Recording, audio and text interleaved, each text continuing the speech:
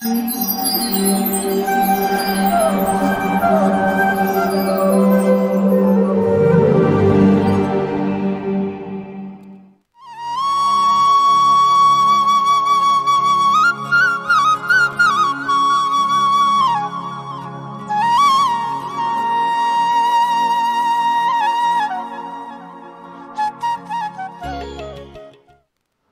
कृष्णा।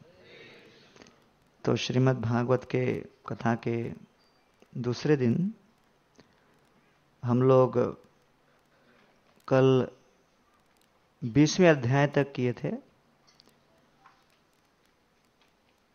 ब्रज में वर्षा ऋतु का वर्णन। तत्पश्चात 21वें अध्याय का शीर्षक है वेणुगीत। तो यहाँ वर्णन आ रहा है, वर्षा ऋतु और शरद ऋतु के वर्णन के पश्चात भगवान श्री कृष्ण के शरद ऋतु में गोपियों के साथ जो लीला हुई, उसका, उसकी तैयारी में अब गोपियों ने किस प्रकार भगवान श्री कृष्ण की स्तुति की, इसका वर्णन आ रहा है। तो श्रीमद् भागवत के पन्नों में कई ऐसे अलग अलग गीत आते हैं। इक्कीसवां अध्याय है वेणुगीत, इकतीसवां अध्याय है गोपी गीत फिर पैंतीसवां अध्याय आएगा युगल गीत ये गोपियों के द्वारा तीनों हैं। फिर भ्रमर गीत और बहुत सारे ऐसे ग्यारहवें स्कंद में जो आइल गीत करके आता है। पृथ्वी देवी का भी अपना एक अलग वर्णन है। तो यहाँ भगवान श्री कृष्ण वृंदावन में प्रवेश कर रहे हैं वेणुवादन करते हुए। और गोपियों ने भगवान श्री कृष्ण के वेणुवादन का श्रवण किया और भगवान श्री कृष्ण का सुंदर स्वरूप का दर्शन करते हुए ये श्लोक बड़ा ही महत्वपूर्ण श्लोक है। इसमें भगवान श्री कृष्ण वेणुवादन करते हुए ब्रज में प्रवेश करते हैं, इसका वर्णन है।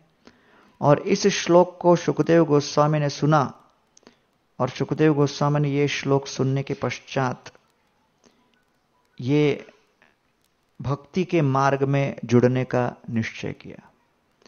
तब तक ब्रह्म के स्तर पर वो स्थित थे, लेकिन व्यासदेव जी के कई शिष्यों के माध्यम से जब उन्होंने इस श्लोक का वर्णन सुना, तत्पश्चात वो वास्तव में नैर्गुण्य स्तर रमनते स्म गुणानुकथने हरे।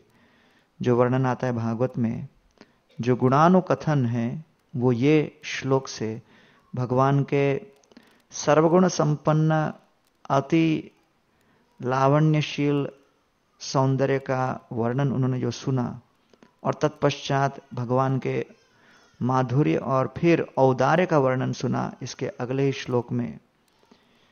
जब उद्धव जी का श्लोक सुनाया गया तो ये दोनों श्लोकों को सुन के भगवान श्री कृष्ण के माधुर्य और औदार्य का वर्णन सुन के वो कृष्ण के साथ जुड़ गए।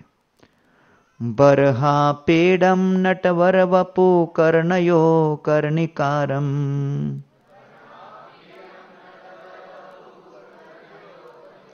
बिभ्रद्वास कनककपिशं वैजयन्तीं च मालाम्।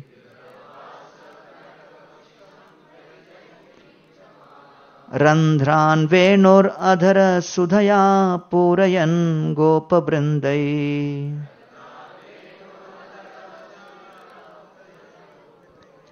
वृन्दारण्यं स्वपपदरमणं प्राविशद्गीतकीर्ति।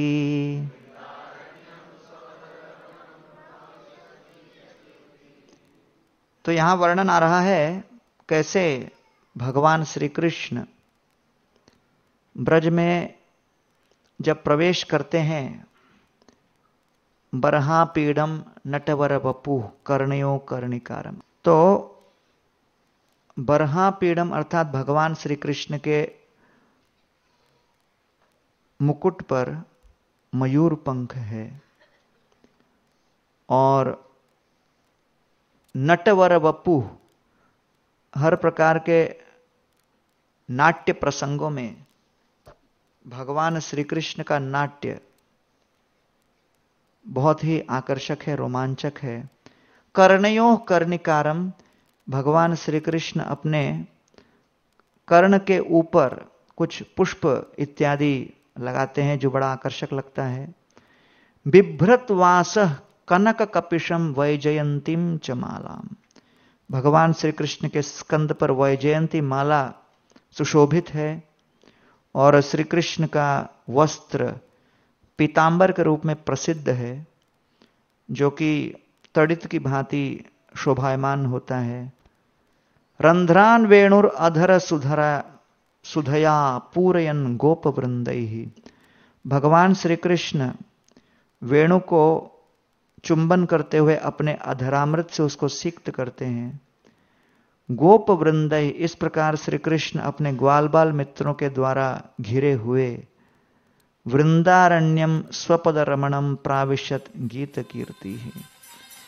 ब्रज के वनों के अंदर अपने संपूर्ण गोवत्स समुदाय को लेकर प्रतिदिन अरुणोदय की वेला में गोचारण के लिए प्रवेश करते हैं।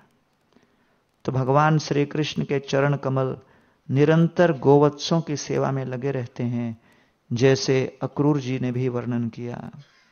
यदर्चितम ब्रह्म भवादि भी सुर ही श्रिया च देव्या मुनय च सात्वत। ही भगवान श्री कृष्ण के चरण कमल इतने प्रशंसनीय, श्लाघनीय हैं ब्रह्मा, शिवजी, लक्ष्मी इत्यादि निरंतर उन चरण कमलों की सेवा में लगे रहते हैं। ये सभी महात्मागण श्री कृष्ण के चरण कमलों की सेवा के लिए लालायित होते हैं। श्रियाच देव्या मुनय च सात्वत। ही कोटि कोटि ऋषि मुनिगण निरंतर अपने हृदय के अंतकरण में भीषण दीर्घकालीन तपस्याओं के पश्चात भगवान श्री कृष्ण के उन चरण कमलों का ध्यान करने की कामना करते हैं। और श्री कृष्ण की ये चरण कमल जो कि संपूर्ण ब्रह्मांड में सबसे अधिक प्राप्य वस्तु है, वो किस कार्य में लगी है? भगवान श्री कृष्ण क्या कर रहे हैं? गोचारयाणानुचरैश्चरद्वने यत गोपिका नाम कुच कुमकुमांकितम भगवान श्री कृष्ण के ये चरण कमल निरंतर गोवत्सों के प्रेममयी सेवा में लगे हैं। यत गोपिका नाम कुछ कुमकुमांकितम और गोपियाँ भी निरंतर उन चरण कमलों के रज से अपने दिव्य यौवन संपन्न देहों को अभिषिक्त करने के लिए लालायित रहते हैं। तो इसलिए वृंदारण्यम स्वपद रमणम प्राविशत गीत कीर्ति। भगवान श्री कृष्ण ब्रज में प्रवेश करते हैं, ब्रज से वन में प्रवेश करते हैं तो प्रतिदिन एक महोत्सव होता है। नित्योत्सव नत त्रिपुर दृशिर पिबंत्यो नार्यो नराश्च मुदिता कुपिता निमेश्च। तो भगवान श्री कृष्ण के सौंदर्य का दर्शन, ये हर जीव के कोटि कोटि जन्मों की अभिलाषा है, जो श्री कृष्ण की सेवा में समर्पित है। आगे वर्णन आता है, वेणुगीत में भगवान के विषय में गोपियाँ अलग अलग प्रकार से वर्णन करती हैं। श्री कृष्ण के नेत्रों का वर्णन, जब वो कृष्ण और बलराम का दर्शन करें, भगवान श्री कृष्ण के वेणुवादन का, मयूरों का वर्णन अलग अलग मृगों का वहाँ वर्णन देवताओं की पत्नी किस प्रकार श्री कृष्ण के वेणुवादन को सुनकर आकृष्ट होती हैं? अर्थात उनको एक ऐसा स्वाद प्राप्त होता है जो स्वर्ग लोक में भी अप्राप्य है। स्वर्गलोक की लोग कामना करते हैं पुण्यों का संचय करके, लेकिन पुण्यों का संचय करके स्वर्गलोक में भी जो न प्राप्त हो, वो ब्रज में उपलब्ध है। यमुना नदी और अलग अलग पक्षी, मेघमंडल, इस प्रकार ब्रज की सभी रमणियाँ और ब्रजवासी भगवान श्री कृष्ण के वेणु के पीछे और वेणुवादन के पीछे पागल है। तो भगवान श्री कृष्ण के वेणु की पुकार ब्रज के हर जीव को इस प्रकार आकर्षित करती है जो सामान्य व्यक्ति कल्पना भी नहीं कर सकता, विचार भी नहीं कर सकता। लेकिन भगवान श्री कृष्ण के वेणुवादन के पीछे मूल तत्व क्या है? भगवान श्री कृष्ण अपने हृदय की इच्छा को, अपने हृदय के भावना और पुकार को उस वेणु के माध्यम से प्रकट करते हैं। और ब्रज का हर प्राणी, हर व्यक्ति ब्रज का तथाकथित हर निर्जीव वस्तु भी भगवान श्री कृष्ण के उस इच्छा के अनुरूप आदान प्रदान करने के लिए तत्पर रहते हैं। यह है ब्रज की विशेषता। वृंदावन, गोवर्धन, यमुना पुलिन वन से सब रासादिक लीला सही ब्रजेर ब्रजजन माता पिता बंधुगण बड़ चित्र के मने पासरीला। कृष्णेर यतेक खेला, सर्वोत्तम नरलीला। नर बपू यहार स्वरूप। तो भगवान श्री कृष्ण का स्वरूप इतना सौंदर्यशाली है। लेकिन ब्रज में जहाँ पर भी वो रमण करते हैं, भ्रमण करते हैं, वहाँ पर हर पत्ता हर प्राणी, हर गोपगण, गोपी, वो केवल यही प्रतीक्षा करते रहते हैं कि कैसे श्री कृष्ण की इच्छा के साथ आदान प्रदान करने का हमें सौभाग्य प्राप्त होगा। तो इसलिए संपूर्ण ब्रज में वास्तविक राजा कौन है? श्री कृष्ण की इच्छा। भगवान श्री कृष्ण की इच्छा, ये वास्तव में संपूर्ण ब्रज का सम्राट है और कृष्ण केवल अपनी इच्छा शक्ति से संपूर्ण ब्रज को नचा रहे हैं। या गोपियों के साथ, या गोपगणों के साथ, या पक्षियों के साथ अलग अलग पशुओं के साथ भगवान श्री कृष्ण की जो लीला हो रही है, वो न केवल श्री कृष्ण के हृदय के गीत का परिचय है, लेकिन उस संगीत को सुनने पर ये सभी ब्रजवासी कैसे उस गीत के सामने स्वयमेव नृत्य करने के लिए तैयार हो जाते हैं और कृष्ण की इच्छा की ताल के साथ उनके पग की चाप भी साथ देती है। तो इसलिए ब्रज की लीला जब हम सुने तो ब्रज की लीला को सुनकर कोई इस भौतिक जगत के सामान्य, कामाधीन वस्तु या किसी प्रकार का भौतिक प्रसंग नहीं सोचना चाहिए। ये मिथ्या अभिमान और अहंकार से विहीन और शून्य।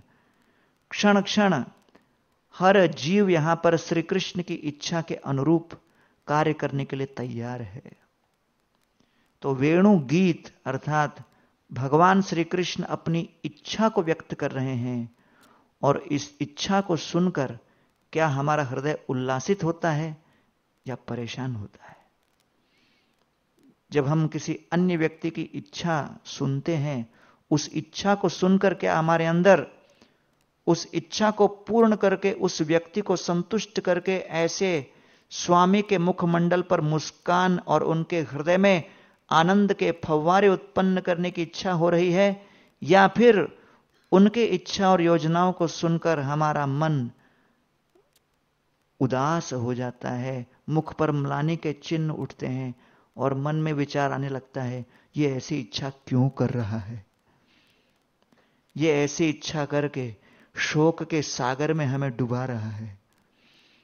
जब तक ये भावना चले, तब तक दूर दूर तक ब्रज के इन सभी लीलाओं को सुनकर कोई लाभ नहीं।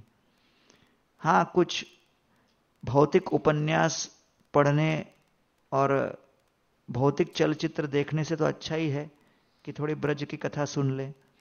लेकिन वास्तव में ब्रज के कथा के मर्म में हम तब तक प्रवेश नहीं कर सकते, जब तक हमारे मिथ्या अहंकार के अधीन हृदय पाषाण की तरह फौलाद की तरह कठोर हो गया है, जब तक वो कोमल न हो जाए और कृष्ण की इच्छा के अनुरूप आदान प्रदान करने के तैयार न हो जाए, तब तक ये केवल उपन्यास के तुल्य ही होगा।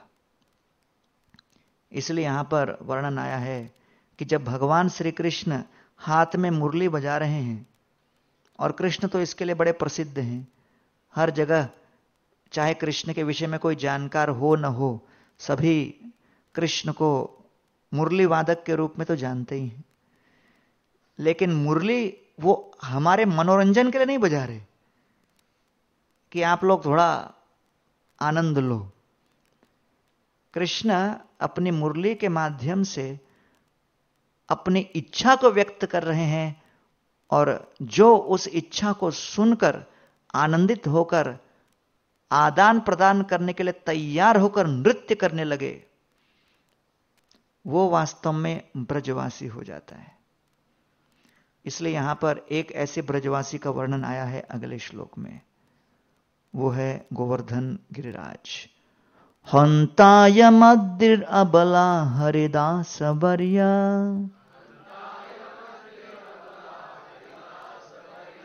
यद राम कृष्ण चरण स्पर्श प्रमोदा। मानं तनोति सह गणयोस्तयोर्यात् पानीयसूयवसकन्दरकन्दमूलैः। हंतायम अद्रि अबला हरिदास वर्य गोपियाँ कह रहे हैं कि ब्रज के सभी निवासियों में श्रेष्ठ निवासी कौन है? गोवर्धन गिरिराज। हरिदास वर्य, अर्थात हरिदासों में श्रेष्ठ गिरिराज हैं। क्यों है? सर्वप्रथम यहाँ कह रहे हैं, अद्रिर अबला। कह रहे हैं, देखिए, हम लोग तो अबला हैं, हम गोपियाँ अबला हैं, हम शक्तिहीन हैं, हम कितने दुर्भाग्यशाली हैं। कि भगवान श्री कृष्ण का जब वेणु बजता है और कृष्ण अपने चरण कमलों को लेकर वन के जिस जिस कोने में प्रवेश करते हैं, उन सभी कोनों में ब्रज का हर जीव वहाँ जा पाता है। पक्षियाँ उड़कर जाती हैं, मृग विचरण करते हुए भागते हुए वहाँ पहुँच जाते हैं। नदियाँ अपने नदी के वेग की दिशा बदलकर वहाँ पहुँच जाते हैं। मत्स्य उन जलाशयों का आश्रय लेते हुए जलचर, जहाँ जहाँ कृष्ण भटक रहे हो, ये न के न प्रकार न सारे जलाशय आपस में कोलेबरेशन करके जुड़ जाते हैं। जहाँ जहाँ कृष्ण की लीला होती है, वहाँ वहाँ पहुँच जाते हैं और जलचर भी वहाँ प्रकट हो जाते हैं। कृष्ण की नवीनतम लीलाओं के विषय में ब्रज के हर व्यक्ति को आभास होता है। लेकिन गोपियाँ कहती है कि हम लोग कितने अभागिन हैं। कि जहाँ कृष्ण जाते हम लोग नहीं पहुँच पाते क्योंकि हम अपने सामाजिक घरेलू बंधन में पूरी तरह जकड़े हुए हैं और उसके कारण हम निकल नहीं पाते। इसलिए अपने आप को कह रहे हैं, अबला। अबला अर्थात जो श्री कृष्ण के लीलाओं के वेग के साथ अपने वेग को नहीं रख पाते। और भगवान श्री कृष्ण के लीलाओं के साथ साथ अनुकरण, अनुसरण नहीं कर पाते। कृष्ण की लीलाओं का दर्शन नहीं कर पाते। कृष्ण तक पहुँच नहीं पाते। भगवान श्री कृष्ण जिस वन में गए, वहाँ तक पहुँचने की उनके अंदर शक्ति नहीं, सामर्थ्य नहीं, इसलिए कहते हैं, हमारे अंदर वो बल नहीं, इसलिए अबला। लेकिन हमारे जैसे ही गोवर्धन गिरिराज है, जिनके भी चरण नहीं। और एक समय गिरिराज जी के पंख थे, क्योंकि सब पर्वतों के पहले पंख हुआ करते थे, पर्वत पहले उड़ते थे। एक समय था जब पर्वत भी उड़ते थे। लेकिन उस समय इंद्रदेव ने इन पर्वतों के पंख को काट दिया था। और उन पर्वतों के पंख को काटने के पश्चात ये पंख उड़ नहीं पाते। और क्योंकि ये पंख उड़ नहीं पाते तो गिरिराज जी भी एक ही स्थान पर विद्यमान है। कृष्ण की लीलाओं के आसपास नहीं जा पाते। गोपियाँ कहती हैं, लेकिन गिरिराज जी इतने सौभाग्यशाली है कि गिरिराज कृष्ण तक नहीं जाते, लेकिन कृष्ण भागे भागे प्रतिदिन 12 घंटा गिरिराज पर बिताते हैं। देखिए कितना सौभाग्य गिरिराज जी का है कि प्यासा कुएँ के पास आए, कुआँ प्यासे के पास जाए तो यहाँ पर भगवान श्री कृष्ण डायरेक्ट गिरिराज के पास आ गए। तो इसलिए हरिदास वर्य, बाकी सभी दासों में कितने श्रेष्ठ हैं, क्योंकि नियमित रूप से अनुशासन के अनुसार प्रतिदिन कृष्ण अगर एक स्थान पर जाएँ, वो है गिरिराज जी के पास। यदराम कृष्ण चरण स्पर्श प्रमोद। और श्री कृष्ण अपने चरणों के स्पर्श से उनको आनंदित करते हैं। मानम तनोति सह सहगो गणयोस्तयो हाँ, कृष्ण और बलराम के चरण का स्पर्श प्राप्त करके गिरिराज जी आनंदित तो होते ही हैं, लेकिन साथ साथ उनके साथ जितने ग्वाल बाल मित्र हैं, गोवत्स हैं, उनकी भी सेवा में वो लगकर उनको आनंदित करते हैं। पानी सूय वस कंदर कंद मूल और गिरिराज के अंदर श्री कृष्ण को संतुष्ट करने के लिए हर प्रकार से व्यवस्था है। मुलायम, कोमल घास, हरी पत्तियों से युक्त अलग अलग फल, पुष्प, जलाशय और इन जलाशयों में अलग अलग प्रकार के वस्तुएँ, कहीं पर जल है, कहीं पर अमृत है, कहीं पर अलग अलग फलों का रस है जब कृष्ण अपनी लीला करते हुए थक जाए तो कृष्ण को आनंदित करने के लिए हर व्यवस्था है। कंदर, कंदराएँ हैं, गुफाएँ हैं, उन गुफाओं के अंदर शीशे लगे हुए हैं। ग्वाल बाल मित्र और कृष्ण अंदर जाकर उन शीशे के अंदर देखते हैं, अपना प्रतिबिंब को, उनका प्रतिबिंब मोटा, तगड़ा, पतला, लूला, लंगड़ा अलग अलग प्रकार से दिखता है, उनका मनोरंजन हो जाता है। तो मतलब उस जमाने का इंटरनेट बोल लो या टेलीविज़न बोल लो प्रतिबिंब के अंदर देखकर वो लोग मनोरंजन करके एक दूसरे का हँसी मज़ाक उड़ाकर बाहर निकलते थे। तो इस तरह कंदराओं में और कंद मूल ही अलग अलग कंद और मूल भी श्री कृष्ण के लिए, गोवत्सों के लिए, गायों के लिए उपलब्ध रहता था। इसलिए भगवान श्री कृष्ण के परम भक्त बताए गए हैं गिरिराज जी। आगे। अब गोपियाँ ऐसे चर्चा कर रही हैं, तब भगवान श्री कृष्ण ने एक विचित्र लीला का वर्णन किया और वो है गोपियों के वस्त्र को चुराया। तो इसको कहते हैं चीर घाट। तो गोपियाँ कात्यायनी की सेवा पूजा करते हुए कृष्ण को अपने पति के रूप में स्वीकार करने के लिए जब प्रार्थना करती हैं तो कृष्ण गोपियों के वस्त्रों को चुरा लेती हैं। गोपियों के वस्त्र को चुराने पर जब गोपियाँ स्नान करते हुए देखती हैं कि उनके वस्त्र गायब हैं तो कृष्ण से प्रार्थना करने लगती हैं कि क्या हो गया। तो कृष्ण ऊपर एक वृक्ष पर बैठकर देख रहे हैं और फिर कृष्ण का और गोपियों का वार्तालाप होता है। तो इस जगत के कामुक बुद्धि से युक्त कोई सामान्य व्यक्ति सोचेगा, ये भगवान है कि क्या है? ये कैसी लीला कर रहे हैं? तो इसलिए भगवान श्री कृष्ण की कई लीलाएँ अनुकरणीय हैं, अधिकांश लीलाएँ अनुस्मरणीय हैं, अनुसरणीय हैं, जिनकी नकल नहीं की जा सकती, केवल श्रवण करके समझ सकते हैं। तो अगले श्लोक में वर्णन आता है, दृढ़ प्रलब्धस्त्रपया चहा पिता।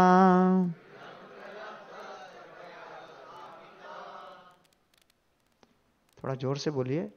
प्रस्तोभित क्रीडन वच्चकारिता वस्त्राणि चैवापहृतानि अथाप्यमुम्।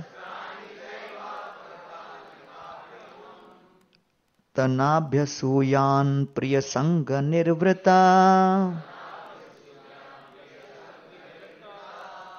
दृढ़म प्रलब्धस, जो बुरी तरह ठगे गए। त्रपया चहा पिता और जिनकी लज्जा छीन ली गई थी। प्रस्तोभित क्रीडनवच्चकारिता और जिनको एक खिलौने की भांति श्री कृष्ण ने अपनी इच्छा के माध्यम से नचाया था। उनकी इच्छा की डोरी के अंतर्गत जो कठपुतली की तरह नाचे, वस्त्राणी चैवापहृतानी अथाप्यमुम और उनका वस्त्र चुरा लिया गया था, फिर भी भगवान श्री कृष्ण का विरोध नहीं किया। बड़े प्रसन्नचित थे कि उनको कृष्ण के साथ संग का अवसर प्राप्त हुआ। तो इसलिए आगे नेक्स्ट स्लाइड में वर्णन आया है कि गोपियाँ भगवान श्री कृष्ण की ओर देख रही थीं और यहाँ पर वर्णन आया है, जो भगवान श्री कृष्ण के ऊपर अपना मन केंद्रित करे, उनके हृदय में कभी इंद्र तृप्ति नहीं उत्पन्न हो सकती। जैसे बीज को भूंज दिया जाए तो फिर उसके पश्चात उसके अंदर से कभी अंकुर नहीं फूट सकता। इसलिए भगवान श्री कृष्ण इन गोपियों के भाव को देखकर प्रसन्न थे। तो कहने का तात्पर्य यह है कि भगवान श्री कृष्ण इस लीला के माध्यम से हम सभी की परीक्षा ले रहे हैं कि मेरी इच्छा आपके जीवन में अलग अलग समय पर अलग अलग अनअपेक्षित रूप में प्रकट होंगी। आप अपेक्षा नहीं करोगे, उसके ठीक विपरीत भगवान श्री कृष्ण अपनी इच्छा बड़े ही विस्मयजनक कौतूहल पूर्ण रूप में प्रस्तुत करेंगे। और जब श्री कृष्ण की इच्छा आपके जीवन में, आपके अपेक्षा के विपरीत प्रकट हो तो आपकी प्रतिक्रिया क्या होगी? तो कृष्ण यह वर्णन कर रहे हैं कि ब्रज भक्ति में प्रवेश करना हो तो इन कथाओं को सुनना आसान है, लेकिन कथाओं के मर्म को समझना बहुत कठिन है। गोपियों ने अपनी इच्छा को, अपनी इच्छा शक्ति को इस तरह मुलायम, कोमल और नरम बना दिया। मानो किसी रस्सी की भांति। जिस दिशा में कृष्ण उसे मोड़े, वो मुड़ जाए। कृष्ण ने जैसी इच्छा की वो उस इच्छा के अनुरूप कार्य करने के लिए तैयार हो गए। तो ये वास्तव में भगवान श्री कृष्ण के वास्तविक पर्याय का सूचक है। कृष्ण गोपियों के माध्यम से हम लोगों को यह संदेश देना चाह रहे हैं। प्रभुपा जी, जब अमेरिका पहुँचे तो उस दिन मैं वर्णन कर रहा था अपने शिक्षाष्टकम के सेमिनार में कि जैसे प्रभुपाद जी का जहाज़ अमेरिका में बॉस्टन हार्बर में प्रवेश कर रहा था तो बॉस्टन हार्बर में प्रभुपाद जी का जहाज़ जलदूत प्रवेश कर रहा था और वहाँ से एक दूसरा जहाज़ निकला था। तो नॉर्मली जो जहाज़ कंपनियों में, जहाज़ के संप्रदाय में जो जहाज़ चलाते हैं कप्तान में, उनका एक प्रोटोकॉल होता है कि जब जहाज़ हार्बर से बाहर निकलता है, दूसरा जहाज़ अंदर प्रवेश करता है। जो बाहर निकलता हुआ जहाज़ का कप्तान इस तरह से वेव करता है, अपने हाथ दिखाता है, कहता है कि सब ठीक है, जहाज़ अंदर ला सकते हो। और फिर ये जो अंदर आ रहा है कप्तान, फिर वो हाथ दिखाता है कि हाँ भाई, आगे समुद्र में भी सब ठीक है, आप आगे बढ़ सकते हो, डूबोगे नहीं। मेरे हिसाब से सब ठीक है। तो इस तरह उनका प्रोटोकॉल चलता है। तो जैसे ही प्रभुपाद जी का जलदूत अंदर प्रवेश करने लगा, प्रभुपाद जी पहले ही डेक पर खड़े थे। और जहाँ पर कप्तान यूजुअली खड़ा होता है, वहीं पर प्रभुपाद जी खड़े थे। क्योंकि सबसे अधिक प्रभुपाद आतुर थे। बॉस्टन में पहुँच के सरस्वती ठाकुर की इच्छा अनुसार कार्य आरंभ करने के लिए। प्रभुपाद ढूंढ रहे थे, बुद्ध जीव। पाश्चात्य देश तारिणे। हम सुनते ना? तो पाश्चात्य देश का तारण कहाँ से आरंभ हुआ? यह हम सुन सकते हैं कि अभी तक बॉस्टन के तट तक पहुँचे नहीं, अमेरिका के धरती पर पहुँचे नहीं। केवल अमेरिका के धरती के निकट के जल में जैसे ही प्रभुपा जी का जहाज़ अंदर प्रवेश किया, वहाँ से बाहर जहाज़ निकला। वो जहाज़ का कप्तान, जलदूत के कप्तान को वेव कर रहा था। और जलदूत का कप्तान हाथ उठाने के पहले ही प्रभुपा जी यूँ यूँ करने लगे। और ये जहाज़ का कप्तान सोच रहा था, ये कौन है भैया? अलग ही हेयर स्टाइल वाला, अलग ही रंग के वस्त्र पहना हुआ, अलग ही कप्तान लग रहा है। बोला, यह तो कप्तान नहीं लगता। और गौर से देखा, है कौन ये? और इसका काम ही नहीं है, यहाँ खड़े होकर कुछ करने कर क्या रहा है? ये भी भ्रमित हो गए। उनको मनोरंजन लगा कि ये क्या कर क्या रहा है ये व्यक्ति। लेकिन नोट किया प्रभुपाद जी को गौर से, जलदूत में जब पहुँचे बॉस्टन में, प्रचार आरंभ किया, फिर न्यूयॉर्क में टॉमकिन स्क्वायर पार्क में प्रभुपाद ने जब कीर्तन वीर्तन किया, तब सारे न्यूज़पेपर अखबारों में इसका समाचार प्राप्त हुआ और समाचार पत्र में सब जगह छपा। तब तक ये दूसरे देशों में भ्रमण करने के बाद ये जहाज़ का कप्तान जब अपना जहाज़ लेके वापस अमेरिका पहुँचा न्यूज़पेपर रिपोर्ट में उसने प्रभुपा जी का फ़ोटो देखा, उसको याद आया और ये तो जहाज़ पे खड़े होकर यू यू किया। ये वो इतने आगे बढ़ गए कि न्यूज़पेपर तक में आ गए। तो उनके मन में जिज्ञासा हुई, जाके मिलता हूँ। घूमते हुए जाकर प्रभुपाद जी को न्यूयॉर्क में मिले। 26 सेकेंड एवेन्यू प्रभुपाद से प्रभावित हुए प्रभुपाद जी के डिसाइपल बन गए। तो कई लोगों को लगता होगा प्रभुपाद जी का प्रीचिंग अमेरिका में पहुँचने के बाद शुरू हुआ, पहला बंदा तो समुद्र में ही हो गया था। सागर पार करते करते भव सागर पार कर गया। तो इसलिए प्रभुपाद जी इतने सफल क्यों हुए? क्योंकि सरस्वती ठाकुर की इच्छा थी कि प्रचार हर नगर और ग्राम में हो। और प्रभुपा जी का सीताकांत बैनर्जी लेन में घर था, ऊपर के फ़र्स्ट फ्लोर पे उन्होंने गौड़िया मठ को दिया था। गौड़ी मठ के एक ब्रह्मचारी डोल गोविंद शास्त्री, सरस्वती ठाकुर के शिष्य, संस्कृत पंडित थे, हरिनामामृत व्याकरण सिखा रहे थे गौड़िया मठ के ब्रह्मचारियों को।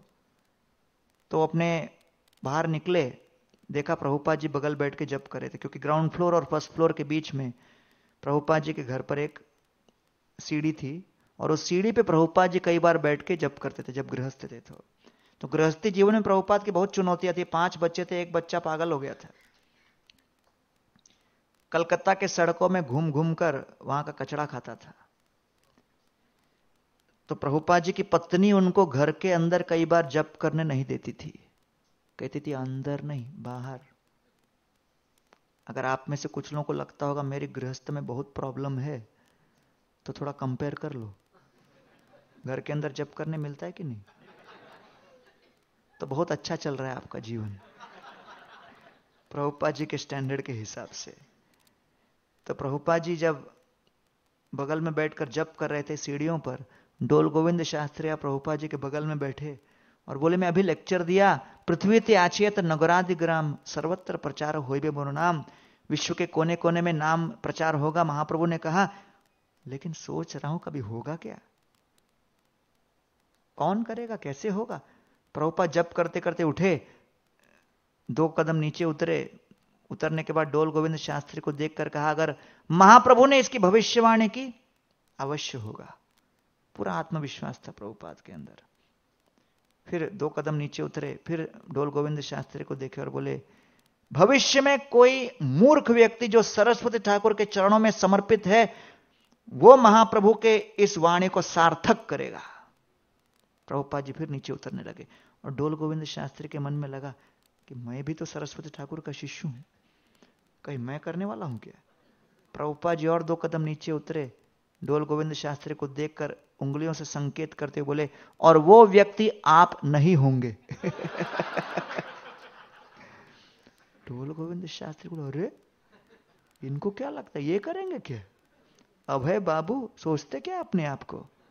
दिन रात केवल पैसा पैसा पैसा सोचते रहते जो। Abhay Babu means business Gaudiya Math congregation में उनके बारे में यही धारणा थी। अभय बाबू अर्थात केवल बिज़नेस और धंधा। दूसरे मन में दूसरा कोई भाव नहीं था प्रभुपाद जी के बारे में। क्या प्रभुपाद जी भविष्य में चलकर कार्य सिद्ध करेंगे? कोई सोच नहीं सकता था। इसलिए कौन व्यक्ति कब क्या सेवा सिद्ध करेगा कोई भरोसा नहीं।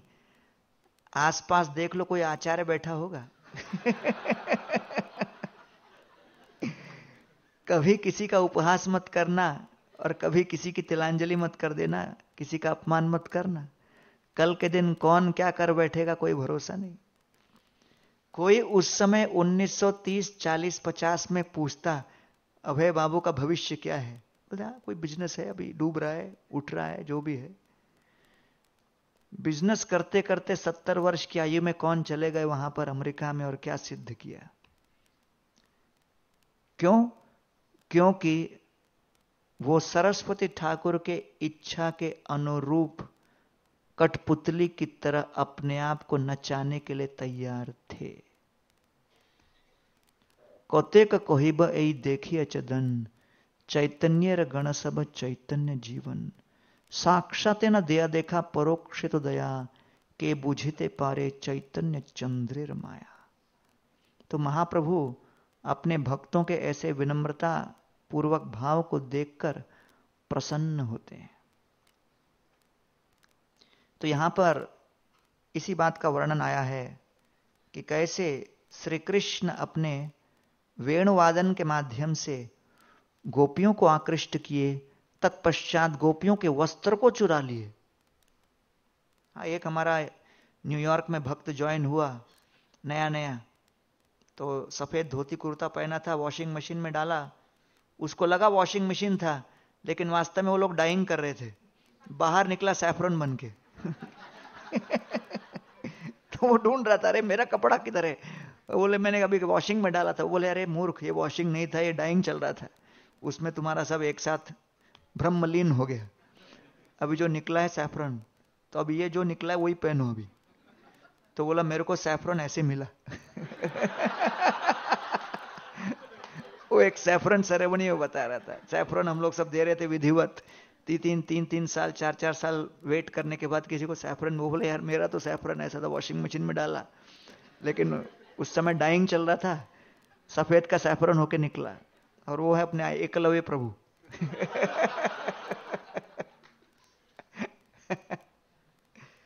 तो यहाँ पर वर्णन आया है कि गोपियों ने इस प्रकार भगवान श्री कृष्ण के साथ आदान प्रदान किया। अब कृष्ण अपने ग्वालबाल मित्रों के साथ जा रहे हैं ब्रज में। और ब्रज में जाते हुए इन वृक्षों का, वृक्षों की स्तुति करते हैं। इसके विषय में हमने कल संक्षेप में चर्चा की कि वृक्षों की स्तुति करते हुए भगवान श्री कृष्ण कहते हैं पश्चदेतान महाभागान परस्य ऐकांत जीवितान। वात वर्ष आतप हिमान सहंतो वारयंती न। वृक्ष हर प्रकार के जटिल परिस्थितियों को सहन करते हैं और दूसरों को उन परिस्थितियों से बचाते हैं, संरक्षण देते हैं। पत्र, पुष्प, फल, छाया, मूल वलकल धारु भी तोकमय कामान वितनवते। तो इसलिए यहाँ पर वर्णन आ रहा है कि पुरीर प्रेम पराकाष्ठा करह विचार विचार कोरिते चित्ते लागे चमत्कार। प्रगाढ़ प्रेमेर ए स्वभाव आचार, निज दुख विघ्नादीर नो कोरे विचार। चैतन्य चरतामृत में प्रेम का वर्णन आ रहा है, निस्वार्थ सेवा भाव को कहते हैं प्रेम। प्रेम परिलक्षित होता है निस्वार्थ सेवा भाव के माध्यम से। है कि नहीं? और ये जब सेवा भाव हम व्यक्त करेंगे, प्रकट करेंगे, तब भगवान उससे संतुष्ट होते हैं। तो यहाँ पर वर्णन आ रहा है, एतावत जन्म साफल्यम। सब लोग बोलिए, एतावत जन्म साफल्यम। देही नाम इह देहेशु प्राणैरर्थैर्धिया वाचा श्रेय आचरणम सदा।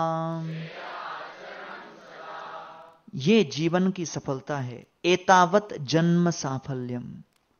क्या? देहिनाम इह देहेशु प्राणेर अर्थेर धिया वाचा। जब व्यक्ति प्राण, अर्थ, धिया और वाचा को भगवान की सेवा में लगा, दूसरों की सेवा में लगाए, दूसरों के उद्धार में स्वयं को समर्पित करे। इसलिए यहाँ पर गोपाल जी के विषय में वर्णन आता है कि बहु परिश्रमे चंदन रेमुना अनिला आनंद बढ़िला मने, दुख न गणिला। वो चंदन को लेके आए, घोषिते घोषिते यैछे मलय जसार गंध बाड़े तैछे यही श्लोकेर विचार। कि कोई चंदन को लाकर यहाँ पर रख दे तो चंदन सौंदर्य के लिए प्रसिद्ध है? चंदन अपने गंध के लिए प्रसिद्ध है? चंदन का वास्तविक गुण उसके गंध के माध्यम से प्रकट होता है। चंदन की पहचान, चंदन का व्यक्तित्व, चंदन का समाज के लिए योगदान, चंदन की प्रसिद्धि, चंदन की शक्ति, ये सब उनके सुगंध के माध्यम से प्रकट होती है और उस चंदन को लाकर हाथ में पकड़कर अपन सूंघें या चाटें तो क्या उसका सुगंध बाहर निकलेगा क्या? हाँ, चंदन के केवल टुकड़े को लेकर सूंगो तो कुछ ना कुछ गंध तो आता ही है। लेकिन जो चंदन की वास्तविक शक्ति है, वो केवल चंदन के टुकड़े को सूंघने से बाहर प्रकट होती है क्या?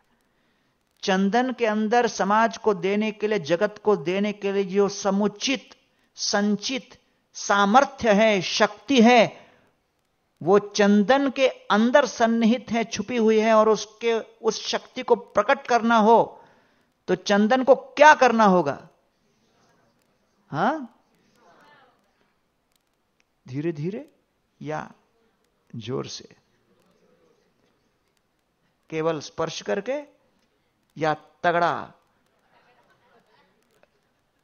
कि रगड़ा? सब लोग घबरा रहे हैं कि आगे एनोलॉजी में क्या आ रहा है। तो समझदारों के लिए इशारा काफ़ी है कि जैसे चंदन के गंध को प्रकट करने के लिए उसको घिसना पड़ता है, हमारे हृदय के अंदर जो सुप्तावस्था में कृष्ण प्रेम स्थित है, कृष्ण के प्रति जो भावना है, उसको प्रकट करने के लिए घिसना होगा। हमें अपने जीवन में पिसना होगा। और चंदन को केवल काष्ट के टुकड़े को केवल वो अपने जो नीचे का रहता है पत्थर, उसके ऊपर रख दो और देखते रहो, वो अपने आप घूमेगा क्या? हाँ चंदन का टुकड़ा हमको देख के हूँ हूँ, ऐसा होता है। चंदन को अगर घिसना हो तो क्या क्या करना होगा? पानी तो लगाना पड़ेगा। वो तो ठीक है। लेकिन किसी के हाथ में उसको स्थिर रहना पड़ेगा। अगर चंदन को पकड़ा तो हम भी देखते हैं ना तो चंदन के दो चार टुकड़े होते हैं। चंदन यात्रा की तरह हम लोग के समय हम लोग चूज़ करते हैं। एक को लेते हैं, यूँ इतना घिसो, फिर भी कुछ नहीं निकलता। या कुछ इसका शेप ही इतना ऑड है कि हाथ में नहीं बैठता। तो कौन से चंदन के टुकड़े को हम लोग प्रिफर करते हैं जो बराबर हाथ में फिट हो जाए, जो उछले नहीं हाथ से, जो मचले नहीं हाथ से, जो छलांग न मारे, जो स्थिर रहे तो इसलिए हर स्वामी भी ऐसे ही दास को ढूंढता है, जो उछले नहीं, जो स्थिर रहे हा? ऐसा नहीं कि पकड़ने जा तो हूँ, भाग गया। अरे वो चंदन चंदन क्या, जो पत्थर को देख के भागे। चंदन का अस्तित्व ही हुआ है, पत्थर के साथ टकरा के प्रसिद्ध हो जाओ। किसी का हरी बोल निकल ही नहीं रहा। हर दास की प्रसिद्धि ऐसे ही पथरीले सेवा के अंदर छुपा हुआ है। समझ रहे हैं कि नहीं? संदेश गंभीर है। मुस्कुराते हुए दे रहा हूँ। तो समझना चाहिए कि ये गोपियों की रासलीला, कृष्ण का वेणुवादन और वेणु गीत वगैरह सुनने में बड़ा आनंद आता है। लेकिन उनकी प्रसिद्धि किसमें थी? कि जैसे कृष्ण ने उनको उपयोग करने का प्रयास किया, वो कृष्ण की सेवा में लग गए। इसलिए यहाँ पर अब वर्णन आता है, इन वृक्षों की प्रसिद्धि किसमें थी? कि वो स्वयं कष्ट पाकर दूसरों को सुख आनंद देते हैं। तो यहाँ वर्णन आ रहा है ब्राह्मण पत्नियों का। अब ये वृक्षों की स्तुति आती है दो अध्याय के पहले। ब्राह्मण पत्नियों का उद्धार, उसके पश्चात गोवर्धन लीला।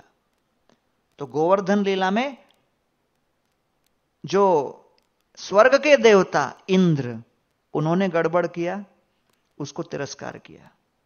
अब भूमि के देवता कौन है? ब्राह्मण।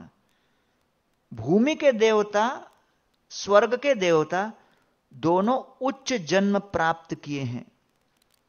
कृष्ण कहना चाहते हैं, एतावत जन्म साफल्यम। जन्म की सफलता उच्च कुल में पैदा होना नहीं है। मेरी दृष्टिकोण से देखना चाहो, उच्च कुल में जन्म लो या नीच कुल में जन्म लो या पशु कुल में जन्म लो, कोई भी कुल में जन्म लो, कुल मिलाकर मेरे दृष्टिकोण से उस कुल का कोई मूल्य नहीं।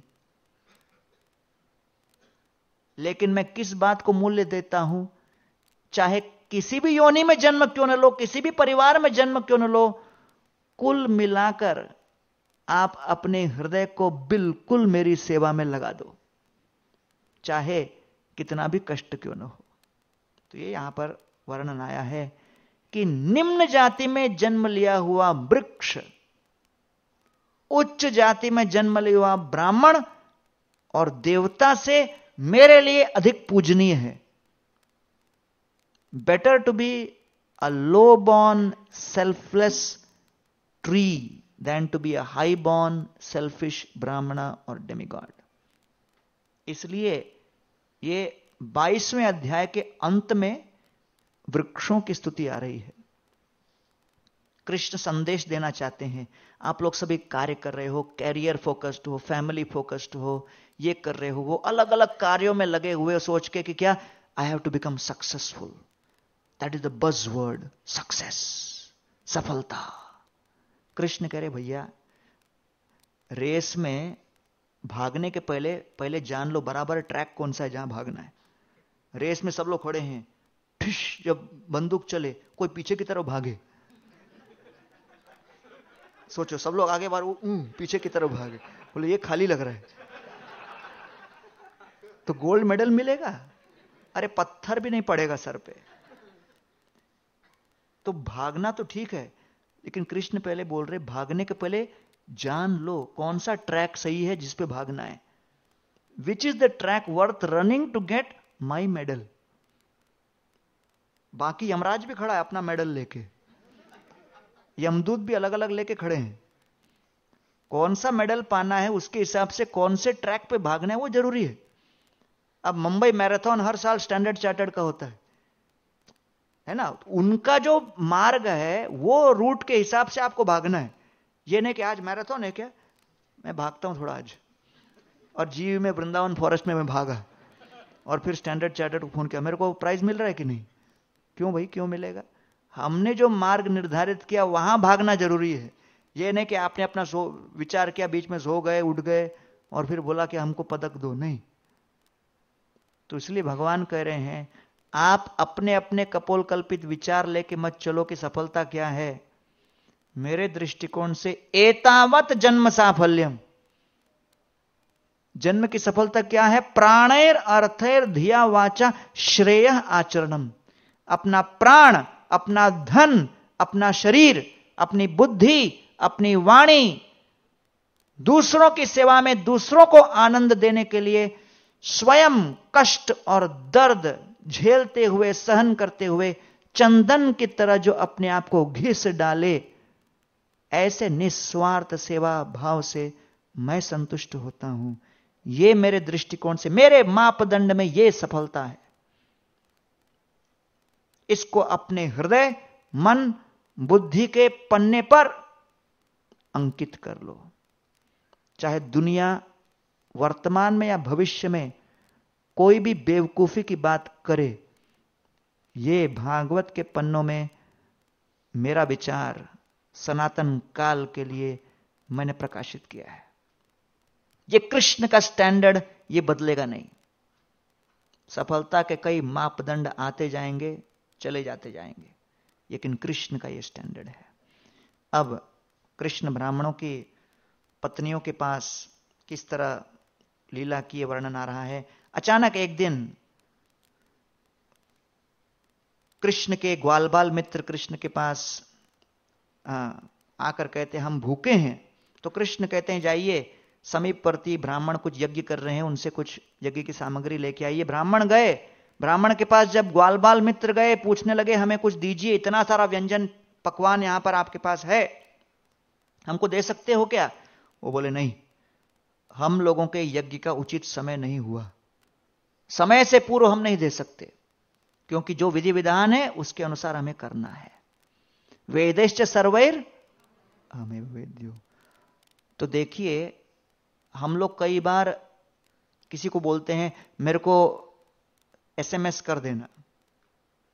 है कि नहीं? अब एसएमएस के बदले वो किसी के माध्यम से आपको हस्तलिखित पत्र भेज दे। संदेश करने का, संदेश देने का एक मार्ग बदल जाए तो फिर लेकिन संदेश को नहीं भूलना है। तो कृष्ण कहते हैं, देखो, कृष्ण भावनामृत का अर्थ क्या है? कृष्ण भावनामृत का अर्थ है कि कृष्ण को पहचानना। कृष्ण कहाँ है? वेर इज़ कृष्ण तो हमेशा कृष्ण श्याम सुंदर रूप में नहीं आएँगे। हमेशा कृष्ण गिरिराज शिला के रूप में नहीं आएँगे। हमेशा कृष्ण फलाना रूप फलाना रूप। आप अपेक्षा करोगे कृष्ण ऐसे प्रकट होंगे। कृष्ण कहते, मैं कभी भी किसी भी रूप में प्रकट हो जाऊँगा। आपका कार्य है जब मैं प्रकट हो जाऊँ, आदान प्रदान करो। ये नहीं कहते अरे मुझे पता ही नहीं था, भाई, ऐसे आने वाले थे। नहीं मालूम होता तो। तो कृष्ण कहते हैं मैं अपने भक्तों के रूप में प्रकट होता हूँ संदेश देके। तो जो भी मेरा भक्त चाहे नया से नया भक्त भी सामने प्रकट हो जाए, सम्मान करना बेटा, मेरा आदमी है वो। ये मत सोचना है इसका तो दीक्षा नहीं हुआ। छोटा बड़ा भक्तगण, वंदोर सवार श्रीचरण, सबे मोरे करह संतोष। स्वरूप गोसाइर मत रूप रघुनाथ जाने अत ताय लिखी नाही मोर दोष। श्री चैतन्य नित्यानंद अद्वैतादि भक्त वृंद, शिरे धरी ताहार चरण। स्वरूप रूप सनातन रघुनाथेर श्री चरण, धूली करो मस्तके भूषण। पाया यार आज्ञाधन ब्रजेर वैष्णवगन वंदो तार मुक्त मुख्य हरिदास। चैतन्य विलास सिंधु कल्लोलेर एक बिंदु ताहा कणा कोहे कृष्णदास। तो कविराज गोस्वामी कहते हैं, ब्रज के हर वैष्णव को मैं प्रणाम करता हूँ, आशीर्वाद लेता हूँ। छोटा, बड़ा भक्तगण, छोटे और बड़े दोनों। तो इसलिए हर प्रकार के वैष्णव प्रकट होकर यहाँ पर ग्वालबाल मित्रों को देखकर ब्राह्मणों को लगा पता नहीं कौन आ गए? हम्म, अभी नहीं मिलेगा। भगा दिया। कृष्ण ने ग्वालबाल मित्रों को उनकी पत्नियों के पास भेज दिया। ब्राह्मण की पत्नी बोले चतुर्विदम बहुगुणम अन्नम आदाय भाजन अभिश्रु मुदम सर्वा समुद्रम इव निम्नगा। सारा व्यंजन को लेकर कृष्ण के पास भागे।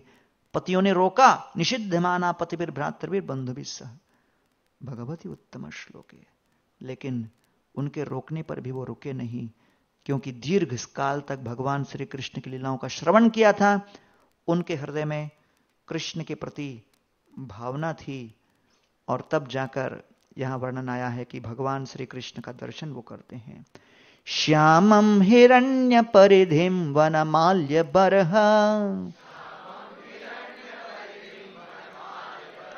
धातु प्रवाल नटवेशमनुव्रतां से विन्यस्तहस्तमितरेण धुनानमब्जम्। कर्णोत्पलाक कर्णोत्पलालक कपोल मुखाब्जहासम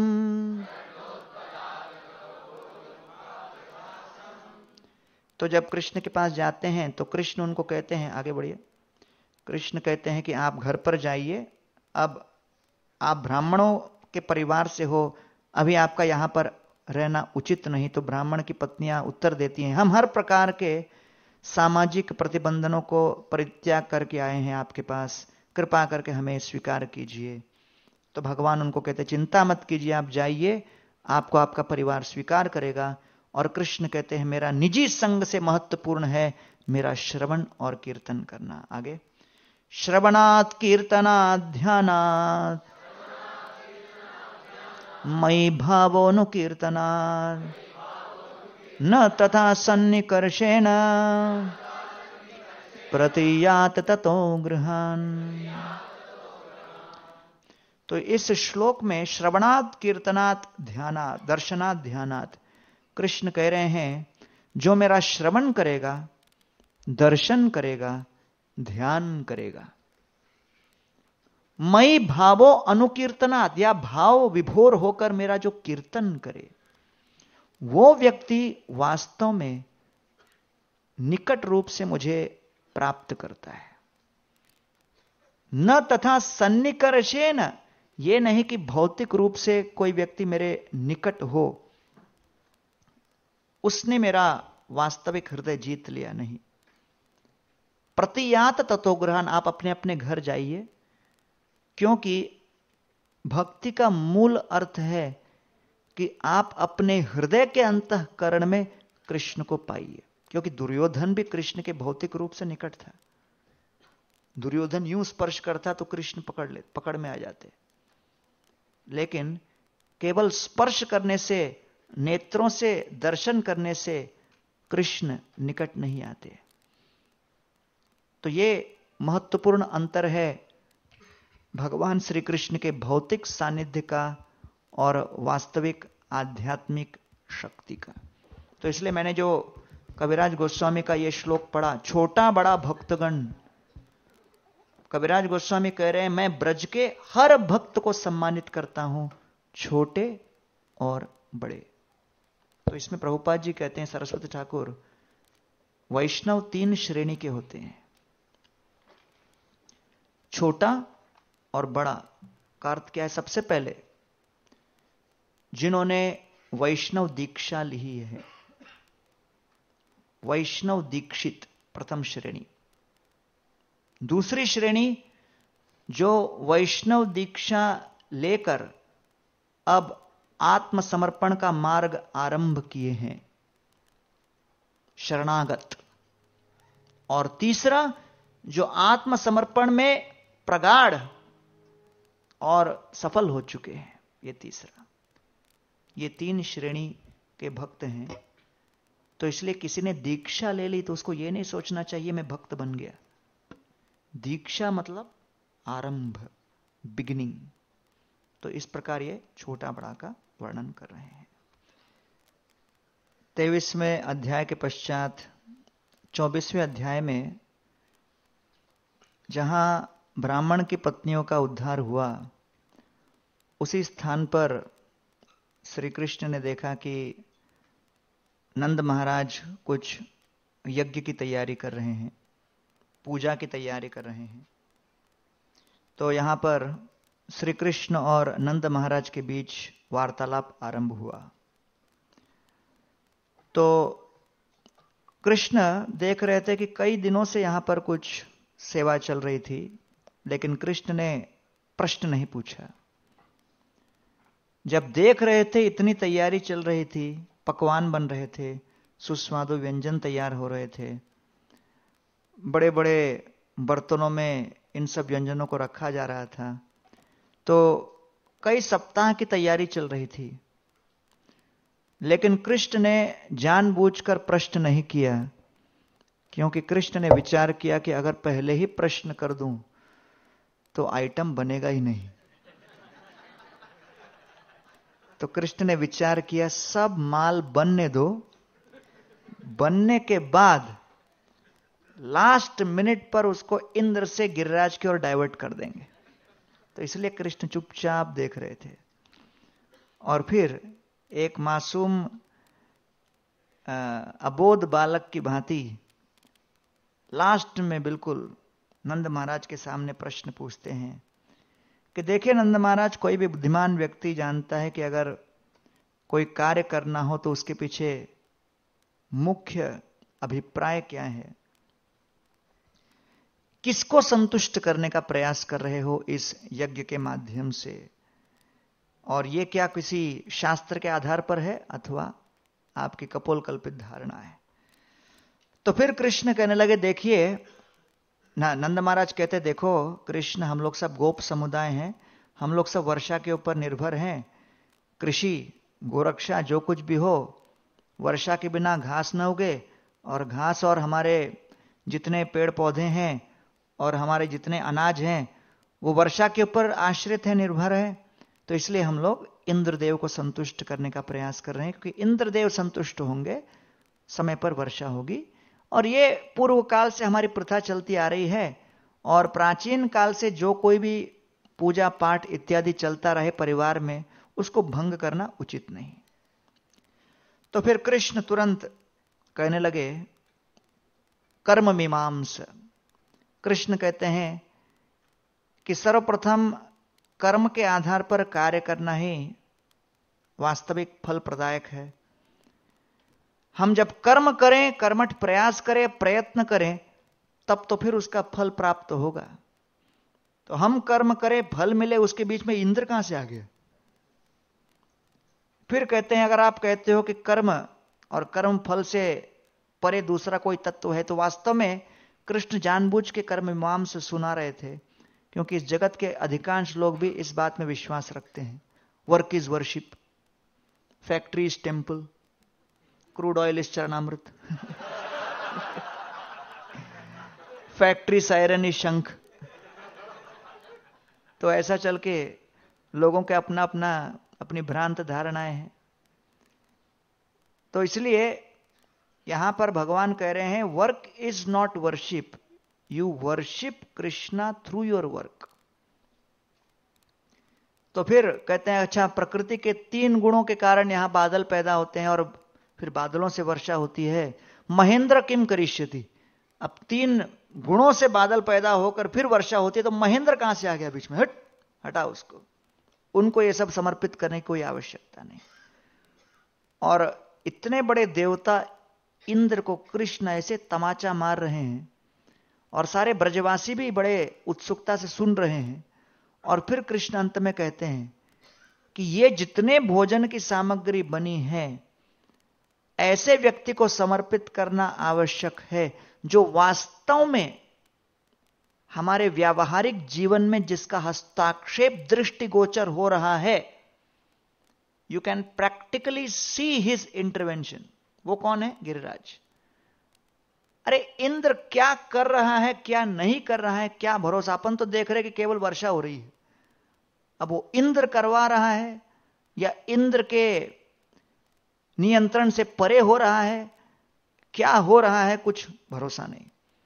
लेकिन गोवर्धन गिरिराज पर घास उग रहे हैं।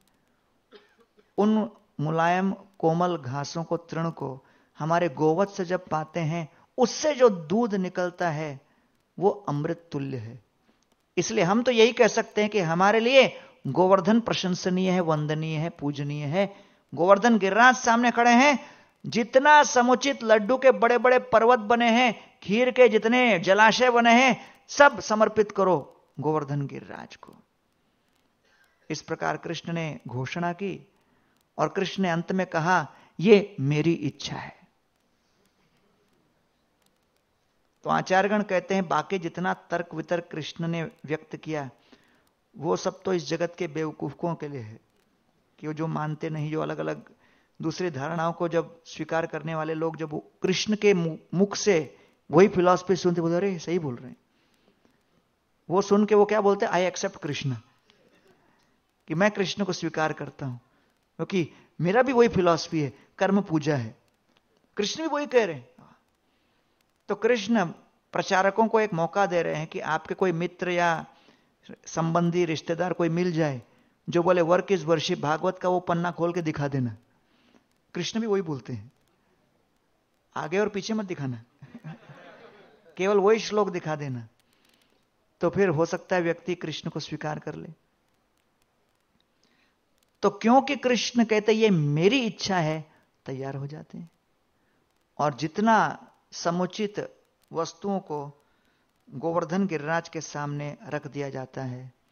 कृष्ण कहते हैं, जितने यहाँ पर जीव हैं, उन सभी क्षुधा पीड़ित जीवों को पहले भोजन खिलाओ, सभी प्राणियों को भोजन खिलाओ, विधिवत यहाँ पर गोवर्धन गिरिराज की पूजा करो, तत्पश्चात सभी लोग अच्छे वस्त्र पहनकर गोवर्धन गिरिराज को भोग लगाने के पश्चात गिरिराज जी की परिक्रमा करो।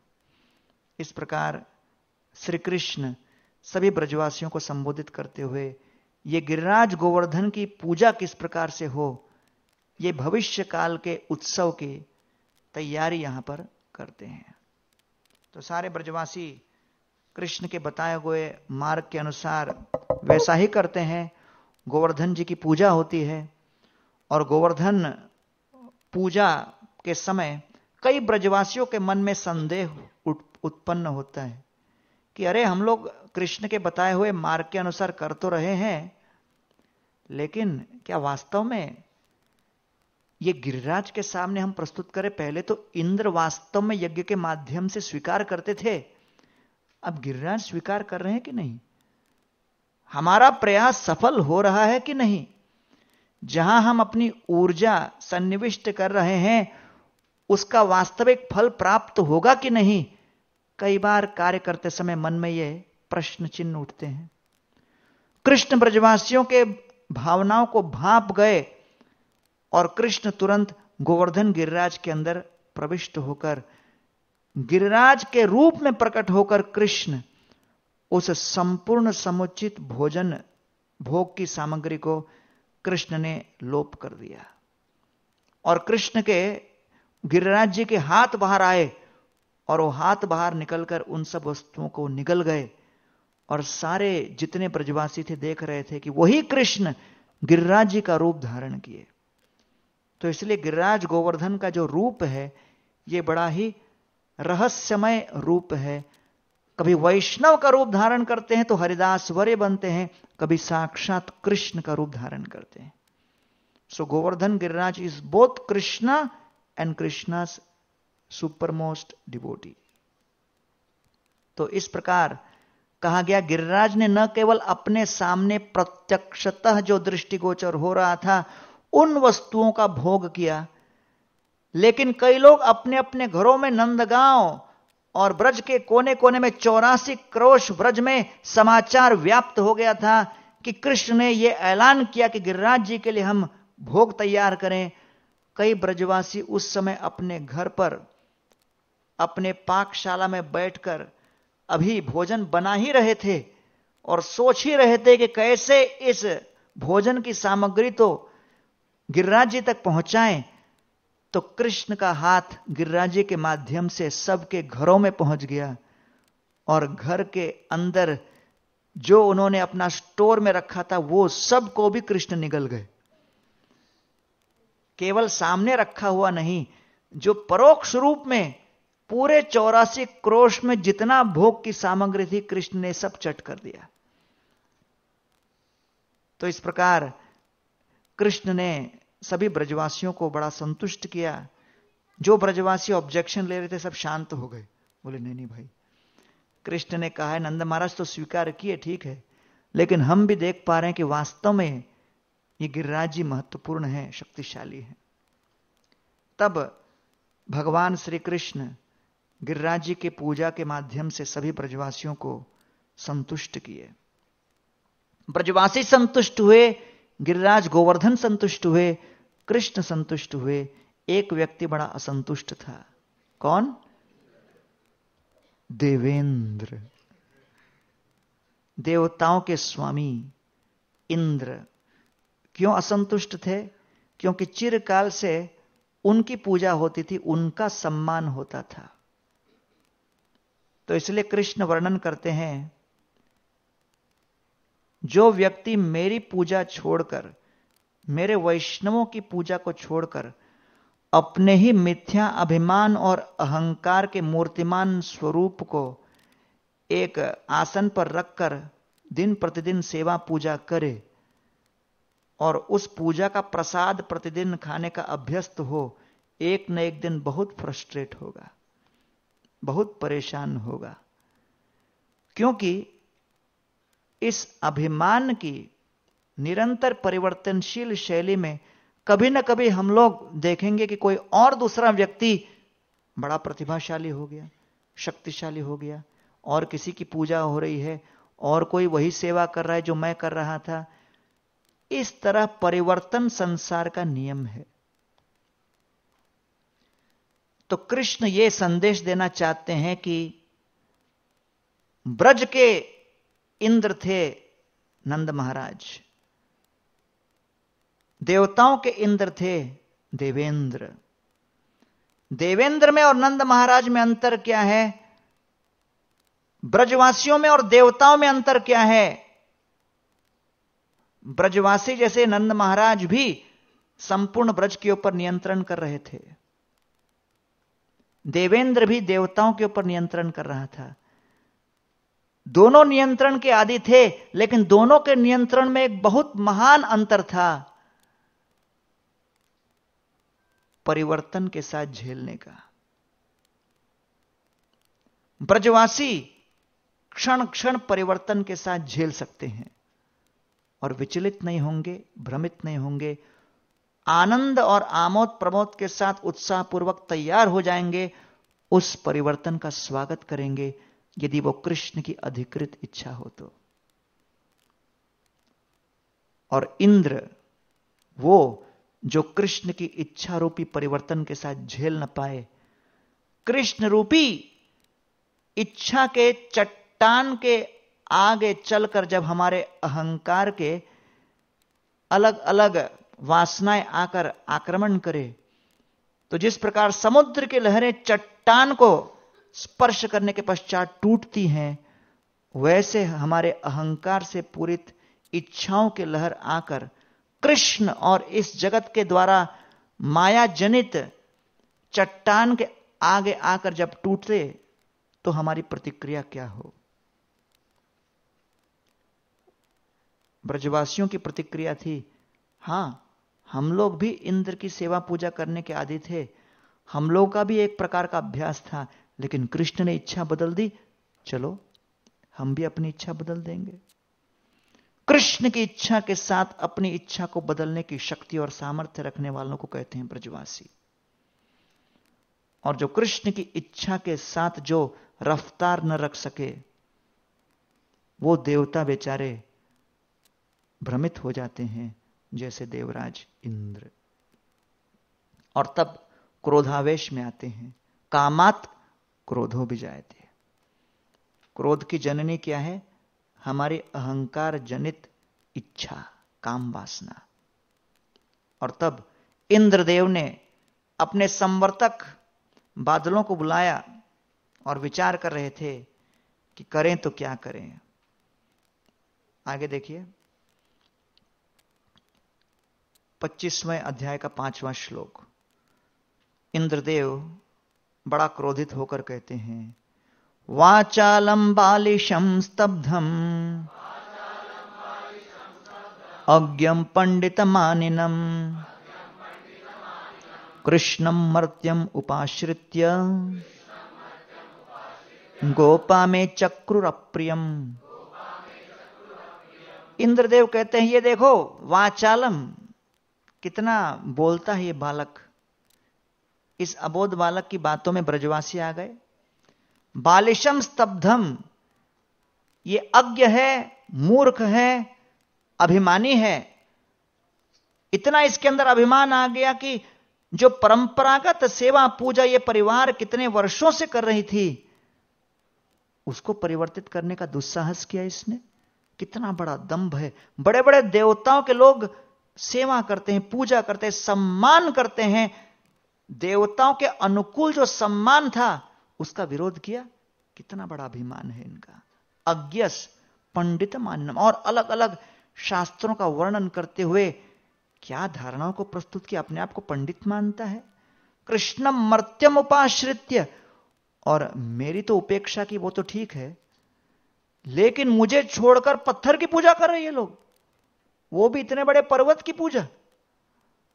अरे देवराज इंद्र के सामने उनको क्या लगता है? ये पर्वत ज़्यादा शक्तिशाली है क्या? पागल हो गए लोग।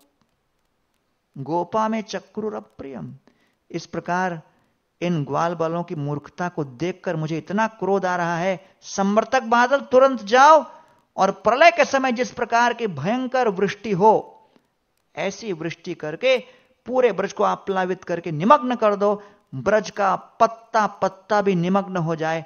नष्ट हो जाए। इंद्रदेव ने अपने मन में केवल ब्रजवासियों के विनाश की इच्छा से समर्थक बादलों को आक्रमण करवाया और ब्रज में देखते ही देखते क्षण भर में इतने विशाल रूप से वर्षा होने लगी, ऐसा लग रहा था विशाल स्तंभ गिर रहे हो। ऐसी वज्रपात, ऐसी वर्षा सभी ब्रजवासी त्राही त्राही करने लगे, भागने लगे कृष्ण के पास, कृष्ण कृष्ण महाबाहो हे कृष्ण, कृपा करके बचाइए, हमारे पास दूसरा कोई उपाय नहीं। यह आपातकालीन परिस्थिति ब्रजवासियों के जीवन में आई क्यों? क्योंकि कृष्ण के विचारों को स्वीकार किया। कृष्ण के साथ सम्मति दिखाई। तो कृष्ण कहना चाह रहे हैं, मैं यहाँ पर ब्रजवासियों के विनम्रता को आपके सामने प्रस्तुत करना चाह रहा हूँ। ब्रजवासियों ने क्या किया? कृष्ण के सामने झुके। और कृष्ण के सामने झुकने के कारण यह परिस्थिति आई।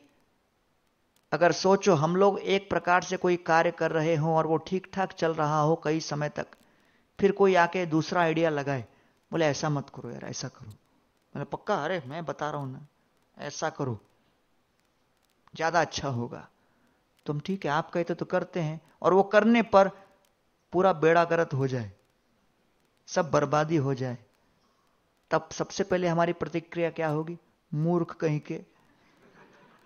कौन बोला था ये आइडिया लाने के लिए?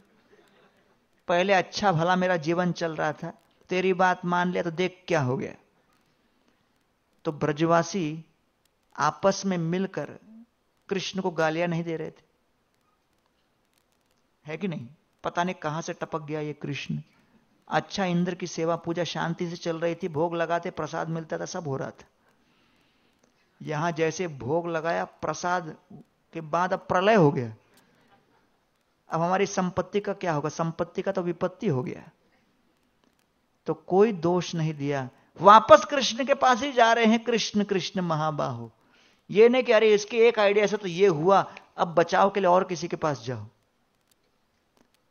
जब विपत्ति आई, जानते थे कि वर्षा किसने किया है, इंद्र ने किया है सभी ब्रजवासी इमरजेंसी मीटिंग बुला के रेजोल्यूशन पास कर सकते थे। हमने गलती की। इंद्रदेव, क्षमा करना, ये पता नहीं नालायक की बातों में क्यों आ गए हम? आप कृपा करके हमें आश्रय दो। अपना रेजोल्यूशन से वो अपनी श्रद्धा को बदल सकते थे। ब्रजवासियों ने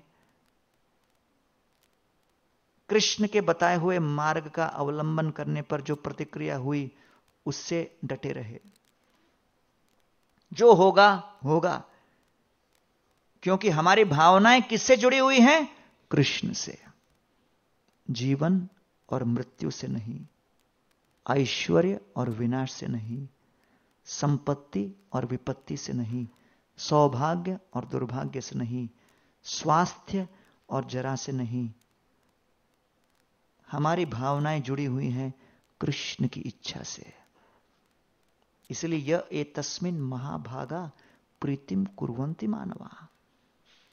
इसलिए गर्गाचार्य कहते अरे ब्रजवासी गण, आप कितने सौभाग्यशाली हो। महाभाग्यशाली हो क्यों? प्रीतिम कुरवंती मानवा। जिस व्यक्ति के हृदय में कृष्ण के प्रति प्रीति, अन्य सभी विचारधाराओं से आगे बढ़े अन्य सभी विचारधाराओं की तुलना में कृष्ण के प्रति प्रीति ही सर्वोपरि हो, वो व्यक्ति भाग्यशाली है। उस व्यक्ति ने अपने जीवन में सौभाग्य के सूर्य नारायण का दर्शन किया है। अन्य सभी लोगों के जीवन में केवल दुर्भाग्य का घनघोर रजनी युक्त तम ही व्याप्त है। इसलिए यहाँ पर ब्रजवासियों की प्रतिक्रिया बहुत महत्वपूर्ण है। ब्रजवासी भागे भागे कृष्ण के पास गए और कृष्ण विचार करते हैं अगले श्लोक में, तस्मात् मत शरणम गोष्ठम मतनाथम मत परिग्रहम गोपाये स्वात्म योगेन सोयम में व्रत आहिता। कृष्ण कहते हैं कि मेरा ही व्यक्ति, मेरा ही सेवक, मेरा ही दास इंद्र, इंद्रारी व्याकुलम लोके मृडयंती युगे युगे। हर युग में मैं प्रकट होता हूँ इंद्र को संरक्षण देने के लिए। अरे, जिस व्यक्ति की सेवा के लिए मैं अवतार ग्रहण करता हूँ, उस व्यक्ति के हृदय में देखिए अचानक कैसे कृतज्ञता का मैल प्रकट हो गया है। और वही व्यक्ति जो बार बार मेरा शरण लेता है असुरों से बचने के लिए, अब मेरे ऊपर और मेरे ही गोष्ठ के ऊपर आक्रमण किया है, मेरे ब्रजवासियों के ऊपर आक्रमण किया है। अर्थात सेवा करते करते कब सेवक के मन में विकार उत्पन्न हो जाए, इसकी कोई भविष्यवाणी नहीं कर सकता। कृष्ण के साथ इतना निकट का सानिध्य रखते हुए, संबंध रखते हुए, इंद्र के मन में विकार उत्पन्न हो गया। क्यों? जब उसका मिथ्या अभिमान चूर हुआ। जब किसी का मिथ्या अभिमान चूर होता है, तब उसकी परीक्षा होती है कि वास्तव में वो भक्ति में लगा हुआ है या भुक्ति में। और कृष्ण कहते हैं, लेकिन ये ब्रजवासियों ने मेरा शरण लिया है। मत नाथम, मैं उनका नाथ हूँ। मत परिग्रह मुझ पर आश्रित हैं। गोपाए स्वात्म योगेन और उन्होंने तन मन धन मेरे लिए समर्पित किया है। सोयम में व्रत आहिता। वो मेरे वचनों पर आश्रित हैं। मेरे वचनों के अनुसार कार्य किए हैं। मेरा कर्तव्य बनता है। इनको आश्रय देना। और भगवान श्री कृष्ण ने विचार किया और तुरंत श्री कृष्ण ने अपने बाएँ हाथ की छोटी उंगली से गिरिराज जी को उठाया और अपने हाथ में धारण किया और धारण करते हुए सभी ब्रजवासियों को आह्वान किया कि आइए ब्रजवासीगण, सब इस गिरिराज गोवर्धन के अंतर्गत आ जाइए। निश्चिंत रहिए यह न सोचिए कि इतने भारी गिरिराज को सात वर्षीय बालक कैसे उठाया है, डगमगाएगा तो क्या होगा? अभी तो केवल अपना घर बार नष्ट हुआ है। इसके नीचे आ गए कहीं, सर के ऊपर न गिर जाए। जान है जहाँ है, कम से कम जीवन तो है, भले संपत्ति चली गई, इसके नीचे आकर और विपत्ति ना आ जाए। तो कृष्ण के वाणी का पालन करके सबसे पहले विपत्ति तो आ गई इंद्रदेव कुपित हो गए, आक्रमण कर रहे थे। अब कृष्ण आगे कह रहे हैं, आइए, नीचे आइए, गिरिराज्य के नीचे आइए, डगमगाएगा नहीं, कुछ नहीं होगा। कितने लोगों को विश्वास होगा? बोले, अरे, क्या भरोसा? जो बोलता है, इसके विपरीत ही होता है। पहले बोला था, गिरिराज की सेवा करो, सब ठीक होगा। उसमें गड़बड़ हो गया। अब कह रहा है, इसके नीचे आ जाओ, चले क्या? सब ब्रजवासियों ने अलग मीटिंग नहीं किया। क्या करें? तू क्या करने वाला है? मैं तो नहीं जा रहा हूँ बाबा। इसका क्या भरोसा? कुछ भी बकवास करता रहता है। क्या भरोसा, क्या होगा? तो सब लोगों ने मिलकर कोई मीटिंग नहीं किया, किसी ने एक दूसरे से कुछ पूछा नहीं, सब प्रकट हो गए। तो वृंदावन अर्थात श्रद्धा का उत्सव और कलयुग अर्थात संशय का उत्सव। गली गली में शंका है। और ऐसे शंका पीड़ित अवस्था में श्रद्धा को प्रकट करना बड़ा कठिन है। लेकिन सत्संग उस तालाब का नाम है जो शंका के पंख में से श्रद्धा का कमल पैदा करे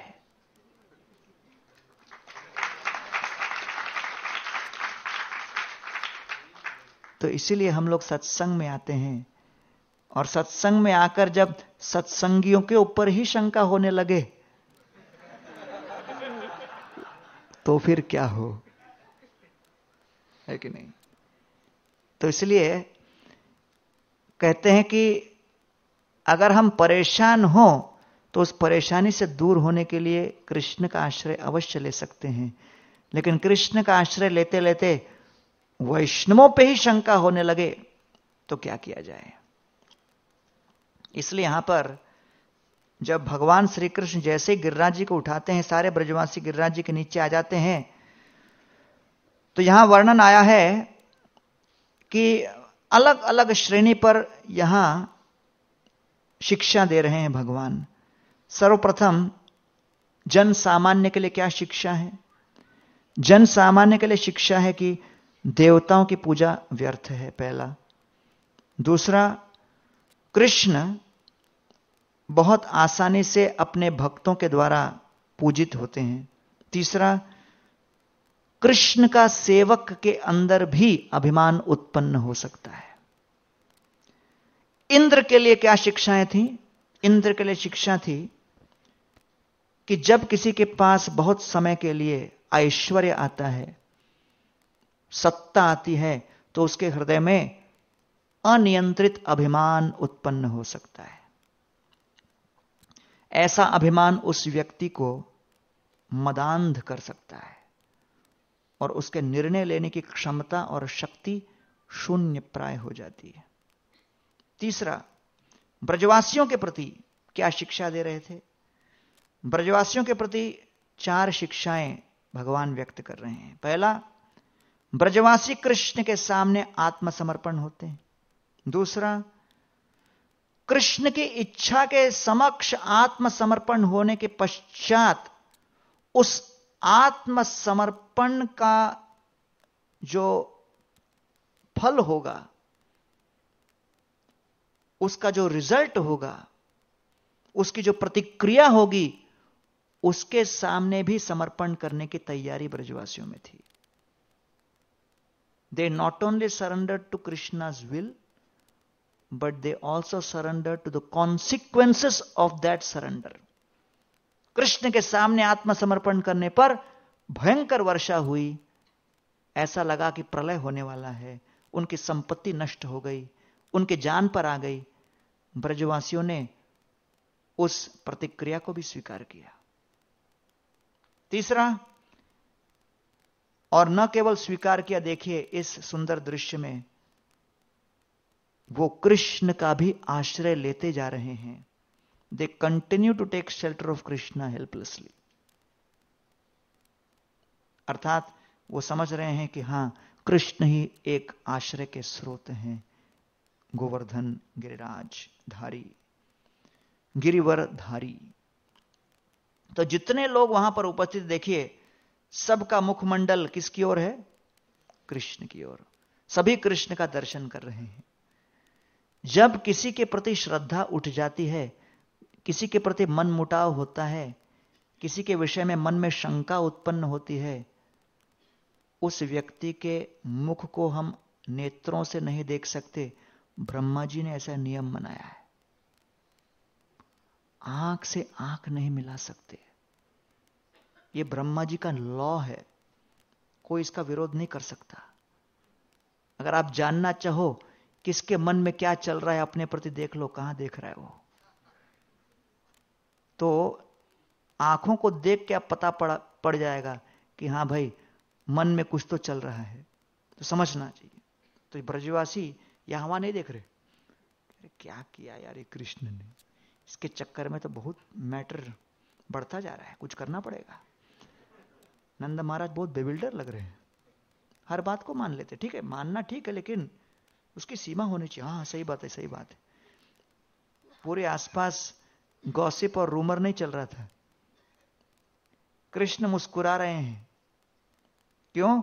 क्योंकि जितने आसपास ब्रजवासी हैं, सभी के हृदय के अंतकरण में कृष्ण के प्रति कृतज्ञता की भावना थी कि हाय, हमारी संपत्ति का तो बैंड बज गया। लेकिन प्रभु, आपका संग मिला। कितना सौभाग्य है। ऐसा कोई कह सकता है क्या? कोई ब्रजवासी पीछे मुड़ के नहीं देख रहा, क्या हो रहा है मेरा? हाँ मेरा डूबा कि नहीं? मेरा घर अभी बचा है कि नहीं? कोई आपस में चर्चा नहीं हो रही संपत्ति के बारे में, इंद्र के बारे में, भूतकाल के विषय में, सब कृष्ण के ऊपर। तो वास्तव में ये जो दृश्य आप देख रहे हो, ये वास्तव में इस्कॉन का मंदिर होना चाहिए।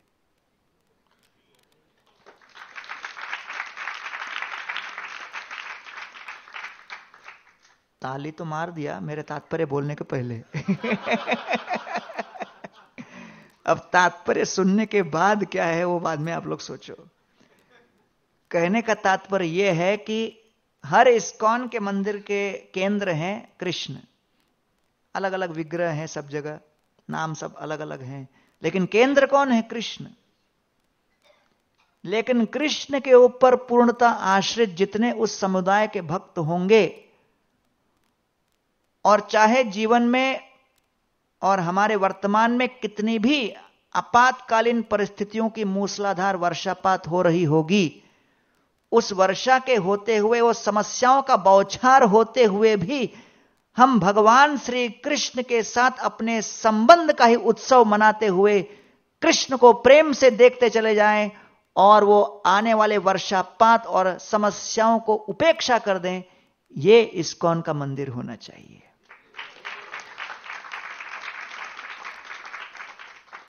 ये नहीं कि समस्याओं की वर्षा को देखकर हम कृष्ण को ही आँखें दिखाएँ। क्या किया रे?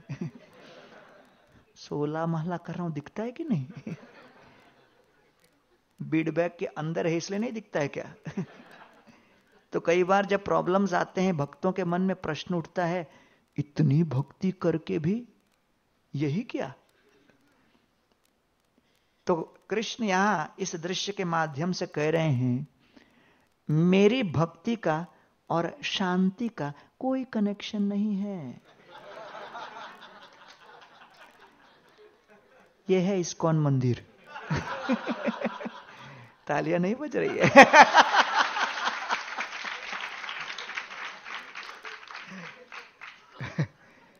तो बाहर से अशांति, क्योंकि अपने को क्या दिख रहा है, ये स्क्रीन में नहीं आ रहा है।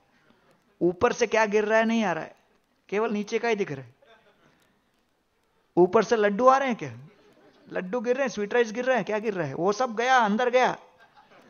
एक बार इस्कॉन मंदिर में आके स्वीट राइस खाया, लड्डू खाया, प्रसाद, महाप्रसाद महाप्रसाद बोल के खाया। उसके बाद क्या टैक्स भरना पड़ेगा, वो देखो। ऊपर से धनाधन गिरता रहेगा।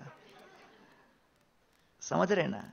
और फिर भी ये नहीं कि अरे क्या किया? ये क्यों किया? नहीं कृष्ण कहते नहीं। हमने कहीं पर गीता में भागवत में किसी भी शास्त्र में शांति की गारंटी नहीं दी है। हमने केवल सेवा की गारंटी दी है। संघ की गारंटी दी है। दर्शन का गारंटी दिया है। दर्शन मिल रहा है। दर्शन मिल रहा है।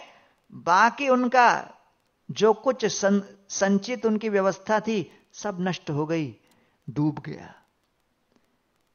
जिसकी संपत्ति, योजना, हर प्रकार से व्यवस्था डूबने पर भी जो कृष्ण को देखकर मुस्कुराता रहे और कृष्ण के प्रति कृतज्ञता व्यक्त करे और कृष्ण का ही दर्शन में मग्न हो जाए, न कि ऊपर से गिरते हुए वर्षा के विषय में चर्चा करे, विचार करे।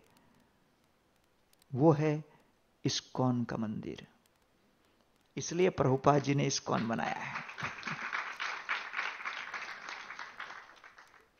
तो चाहे आप ब्रह्मचारी हो, या गृहस्थ हो, या सन्यासी हो, या गुरु हो, या जीबीसी हो, या प्रशासक हो, या कथाकार हो, कुछ भी हो, हर श्रेणी के साथ अपना पाला पड़ा है। सब जगह ऊपर से वर्षा ही हो रही है, कहीं लड्डू नहीं गिर रहे। तो इसलिए जब हम संग करें तो समझ जाएँ कि ऐसा कोई नहीं जिसके जीवन में प्रॉब्लम नहीं, समस्या नहीं। ब्रजवासी यहाँ पर आए हैं, अपनी समस्या की चर्चा करने नहीं। चारों तरफ़ समस्याओं के सागर के बीच जो कृष्ण के दर्शन और सेवा की टापू उत्पन्न हुई है, उस टापू में आकर कृष्ण का आनंद ले रहे हैं। यह है इस्कॉन का मंदिर।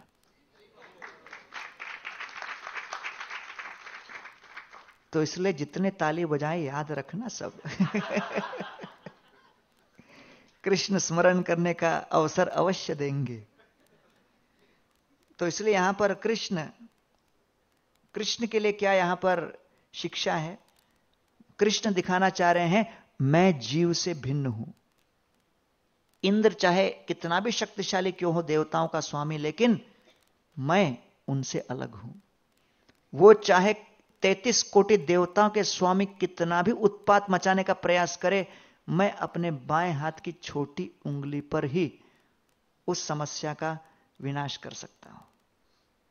तो मैं पूर्ण पुरुषोत्तम भगवान हूँ। दूसरा, कृष्ण शिक्षा क्या दे रहे हैं? मैं हमेशा वैष्णवों के, अपने भक्तों के हृदय के अभिमान को चूर करने में सतर्क रहता हूँ। बेचारे वो सब मेरा नाम ले रहे हैं, कह रहे हैं अपनी सेवा में लगाओ, सेवा में लगाओ, सेवा में लगाओ। सेवा की पुकार सुना सुना कर कंठ सूख गया है बेचारे भक्तों का। तो मेरा ये उत्तरदायित्व तो बनता है कि उनको वास्तव में सेवा का आनंद दूँ और उस सेवा का अमृत उनको प्रदान करने के लिए अभिमान रूपी विष को समाप्त करना पड़ता है। तो इसलिए इंद्र के लिए तो प्रत्यक्ष रूप से मैं अभिमान नाश किया। लेकिन हर भक्त के लिए परोक्ष रूप से, या तो माया के माध्यम से, या दूसरे वैष्णवों के माध्यम से, परिस्थितियों के माध्यम से, मैं बहुत कुछ व्यवस्था करूँगा जिससे उनके हृदय के भीतर मिथ्या अहंकार रूपी विष का दमन हो, और वो सेवानंद और प्रेमानंद का अनुभव करें। ये कृष्ण दूसरा एक शिक्षा दे रहे हैं। गोवर्धन गिरिराज जी के लिए क्या शिक्षा है? कि जब कृष्ण की सेवा में उतरो, वैष्णव का उत्तरदायित्व है कि स्वयं कष्ट झेलकर दूसरे वैष्णवों के कष्ट को दूर करने का प्रयास में आनंद लेना यह दृश्य इसका संकेत है। गिरिराज गोवर्धन के जीवन में आनंद हो रही है क्या? नीचे सब बाकी ब्रजवासी कृष्ण को देख रहे हैं, आनंद लूट रहे हैं, आपस में चर्चाएँ कर रहे हैं। यशोदा माई कृष्ण के लिए पकवान बनाकर खिला रही हैं, है ना? दूसरे हाथ में कृष्ण मुरली बजा रहे हैं। सारे ग्वाल बाल कृष्ण को देखकर, कुछ ग्वाल बाल मित्र कृष्ण के हाथ को मालिश कर रहे हैं। कुछ ग्वाल बाल मित्र छड़ी लगाकर कह रहे हैं, हम भी सपोर्ट करेंगे आपको। कृष्ण सोचते हैं, अरे, इनको क्या लगता है, इनके छड़ी से उठ रहा है क्या? तो कृष्ण थोड़ा अपना हाथ नीचे कर देते हैं। गोवर्धन डगमगाने लगता है, सबको रहे कृष्ण कृष्ण। फिर कृष्ण उठे उठा। क्या हो गया छड़ी को?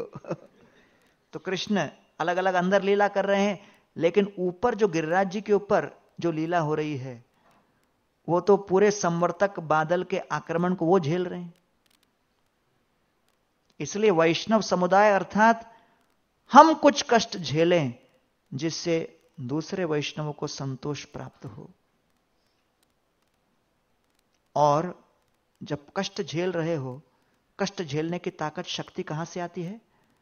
कृष्ण के बाएँ हाथ के छोटी उंगली का स्पर्श से इतनी आध्यात्मिक दिव्य ऊर्जा, तेजस, शक्ति का संचार हो रहा था गोवर्धन गिरिराज को लग रहा था कि अगर कृष्ण का लेश मात्र इतना संस्पर्श प्राप्त हो जाए, उसके बदले में हम असीमित मात्रा में कष्ट झेलने के लिए तैयार हैं। परम दृष्टवा निवर्तते। हायर टेस्ट अर्थात हर प्रकार के कष्ट, तपस्या करने की ताकत, हरिनाम, हरिकथा अर्च विग्रह की सेवा आराधना अलग अलग धाम के परिक्रमा करके आशीर्वाद इत्यादि से जो कृष्ण भावना भावित हृदय जागृत होता है, उससे हम वास्तव में हर प्रकार का कष्ट झेलने की ताकत पाते हैं। इसलिए जो व्यक्ति, जो भक्त अपने जीवन में साधना को महत्व नहीं देगा, भगवान के नाम कथा, लीला, इसके प्रति अगर रुचि जागृत नहीं होगी तो हमारी तपस्या करने की क्षमता बहुत सीमित रहेगी। क्यों? क्योंकि जब विशाल मात्रा में कृष्ण की कृपा का अमृत हृदय में छलका हो, तब जाकर अलग अलग कष्टों का विष हम लोग पचा पाएँगे। अन्यथा थोड़ा सा कुछ हो गया भ्रमित हो जाएँगे, क्रोधित हो जाएँगे, भयभीत हो जाएँगे, विचलित हो जाएँगे, शंका पीड़ित हो जाएँगे। इसलिए यहाँ पर भगवान श्री कृष्ण का संस्पर्श आवश्यक है। कोई भी भक्त चाहे कितना भी प्रगतिशील न हो, दिन प्रतिदिन उनको कृष्ण नाम, कृष्ण कथा, कृष्ण दर्शन के साथ, कृष्ण प्रसाद के साथ संस्पर्श करना आवश्यक है। यह है कृष्ण के बाएँ हाथ की छोटी उंगली के स्पर्श से गिरिराज जी को ऐसी शक्ति प्राप्त हो रही थी। गोवर्धन गिरिराज बारवा अड़चन प्रतिनिधित्व करते हैं, ट्वेल्थ ऑब्स्टकल। अभी तक हमने ग्यारह चर्चा की। What is the twelfth anartha as describe by Bhakti Vinod Thakur, कि भगवान श्री कृष्ण की भक्ति में कृष्ण के ऊपर पूर्ण श्रद्धा न होना और यह विचार करना कि कृष्ण भक्ति में कृष्ण को संतुष्ट करने के लिए कुछ और देवताओं की पूजा भी आवश्यक है। Only Krishna is not sufficient we need support of other demigods also यह भी एक अनर्थ है। अर्थात केवल कृष्ण के ऊपर आश्रय न लेते हुए अन्य देवताओं के आश्रय को भी आवश्यक मानना। अन्य देवताओं को सम्मान करना यह अलग तत्व है। तैतीस कोटि हर देवता को सम्मान करना, हर जीव को सम्मान करना है। लेकिन श्रद्धा कृष्ण के ऊपर की पूर्ण पुरुषोत्तम वो है। आगे बढ़ते हैं। गोवर्धन गिरिराज के ऊपर काफ़ी हमने चर्चा की, क्योंकि इस प्रोजेक्ट का नाम ही है गोवर्धन इको विलेज। है कि नहीं?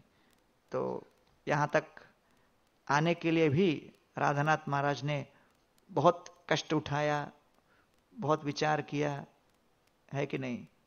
1972 में प्रभुपा जी ने कहा था कि हम लोग को यहाँ पर न्यू वृंदावन बनाना है। तो 1972 में गोविंद देव का मंदिर का प्रतिष्ठा किया गया। Stone laying ceremony corner stone laying ceremony और 72 के बाद सब लोगों ने प्रभुपाद जी के विषय में विचार किया कि वृंदावन बनाना है तो ब्रज में जो गया हो वही तो वृंदावन बना पाएगा। लेकिन ब्रज में कोई गया ही नहीं। न्यू वृंदावन के सब भक्त लोग उस समय 1972 मतलब सब 22, 25, 27 साल के उम्र के रेंज में थे। सब आई वाले थे। कोई गया भी नहीं था वृंदावन, बोले, वृंदावन कैसे बनाए? तो सबने विचार किया, चलो, ऐसा करते हैं कि हम प्रभुपाद जी को बुलाएँगे. तो उन्होंने विचार किया, प्रभुपाद जी को बुलाने के लिए एक प्रभुपाद जी के लिए घर बनाएँगे। अच्छा घर बनेगा, प्रभुपाद जी आकर्षित होंगे, प्रभुपाद आकर रहेंगे तो फिर डायरेक्शन देंगे। यहाँ गोविंद देव बनाओ, यहाँ मदन मोहन बनाओ, यहाँ ये वन बनाओ, वो वन बनाओ। प्रभुपाद विल पर्सनली डायरेक्ट क्योंकि बिना प्रभुपाद के व्यक्तिगत निर्देशन के ये वृंदावन यहाँ नहीं बन सकता। तो 1972 में भक्त लोगों ने प्रभुपाद जी के लिए घर बनाना आरंभ किया। वो घर क्या था? महल बनने लगा। प्रभुपाद जी 1977 में लीला समाप्त किए, वो तब भी कंप्लीट नहीं हुआ। 1980 में समाप्त हुआ। उसका नाम हो गया Srila Prabhupada palace of gold. Palace of gold. बना रहे थे कुटिया, बन गया पैलेस। और ऐसा भव्य बना कि पूछो मत, भक्तों ने अपना तन मन धन लगाया। जो कार्य किया भक्तों ने उस समय, कोई विचार भी नहीं कर सकता। सब कुछ वही बनाया। भक्तों ने हाथ से उसको बनाया, एक भी मजदूर इन्वॉल्व नहीं उसमें। Hundred percent zero labour cost. सब भक्तों ने अपने हाथ से, ग्लास ब्लोइंग से लेके मेटल कास्टिंग से लेके मार्बल लेइंग से लेके, सब हमारे भक्तों ने मिलकर किया। और 1981 में जब उसका इनॉग्रेशन हुआ, हज़ारों भक्त लोग आते थे। आज भी आप इंटरनेट पे जाओ तो वहाँ लिखा रहेगा palace of gold the Taj Mahal of the waste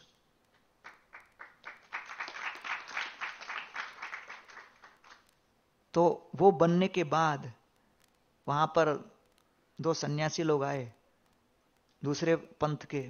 एक सन्यासी ने दूसरे को कहा, इस भव्य इमारत को देखने के लिए, पैलेस ऑफ़ गोल्ड को देखने के लिए हज़ारों लोग बस में आते हैं, हमारी संस्था को भी ऐसे मंदिर बनाने चाहिए। वो कौन थे? प्रमुख स्वामी, स्वामीनारायण के। पैलेस ऑफ़ गोल्ड देखकर उनके अंदर प्रेरणा आई, और फिर एक हज़ार मंदिर उन लोगों ने बाँध दिया।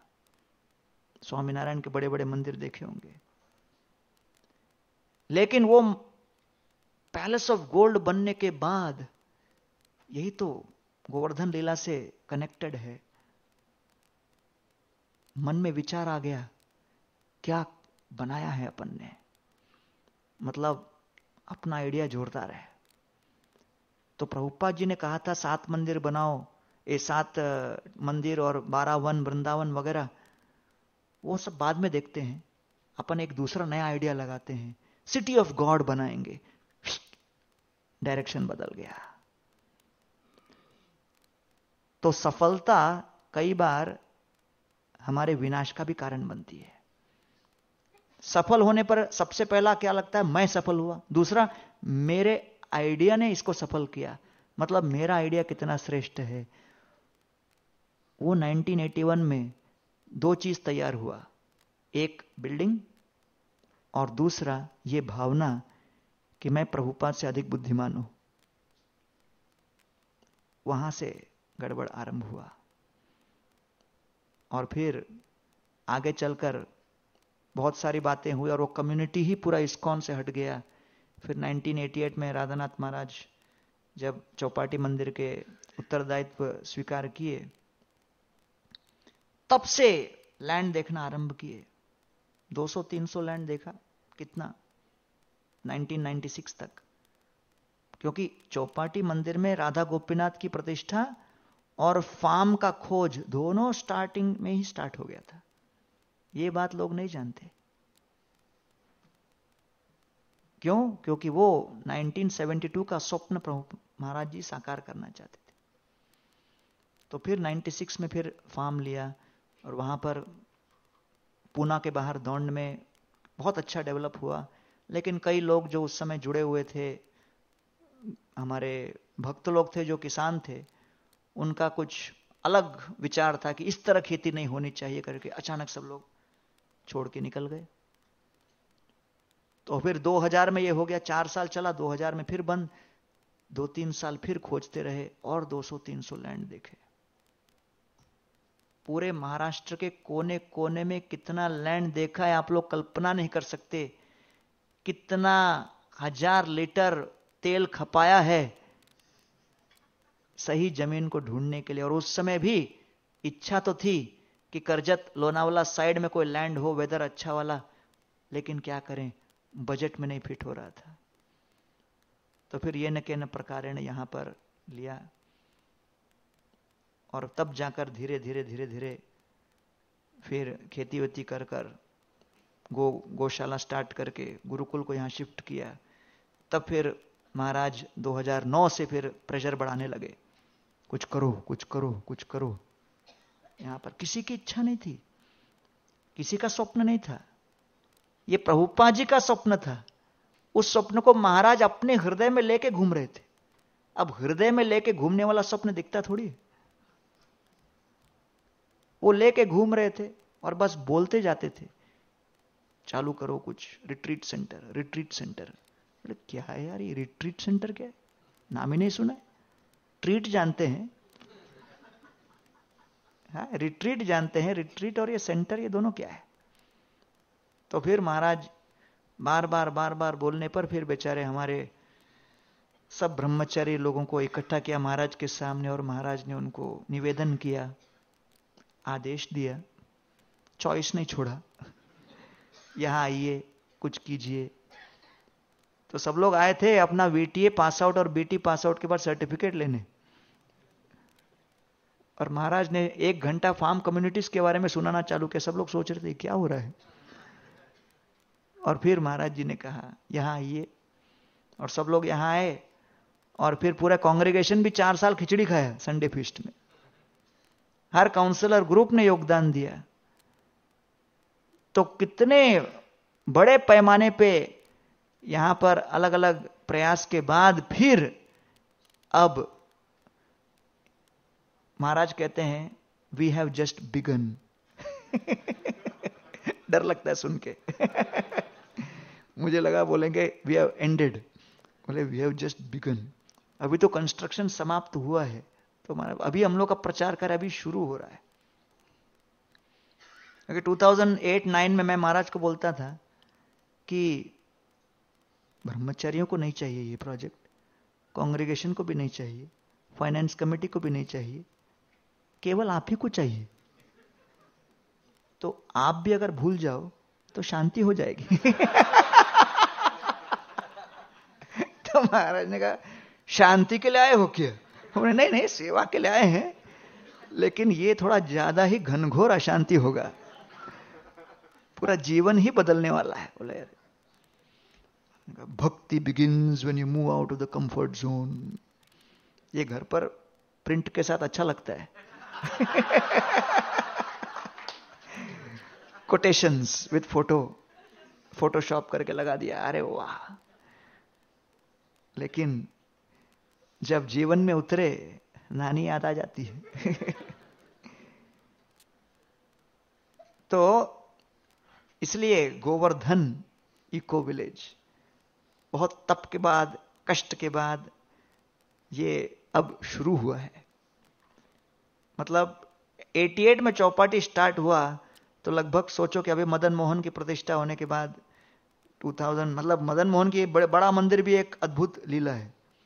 वो मैंने वीडियो दिखाया, वृंदावन फॉरेस्ट रेडी हो गया करके। वो अच्युत नित्यानंद प्रभु, अनुपम गौरंग प्रभु ने अच्छा वीडियो बनाया था। महाराज ने वो वीडियो देखा। वीडियो देख के बाद बहुत बढ़िया है। सब प्रभुपात के डिसाइपल्स ग्लोरीफाई कर रहे थे वृंदावन फॉरेस्ट को। तो महाराज ने कहा, बहुत अच्छा लगा। सब लोग को अच्छा लगा। मेरे मन में एक और इच्छा है। मैंने कहा, नहीं, और नहीं। उन्होंने कहा, बोलू क्या? मैंने कहा, ठीक है, अब प्यार किया तो डरना क्या?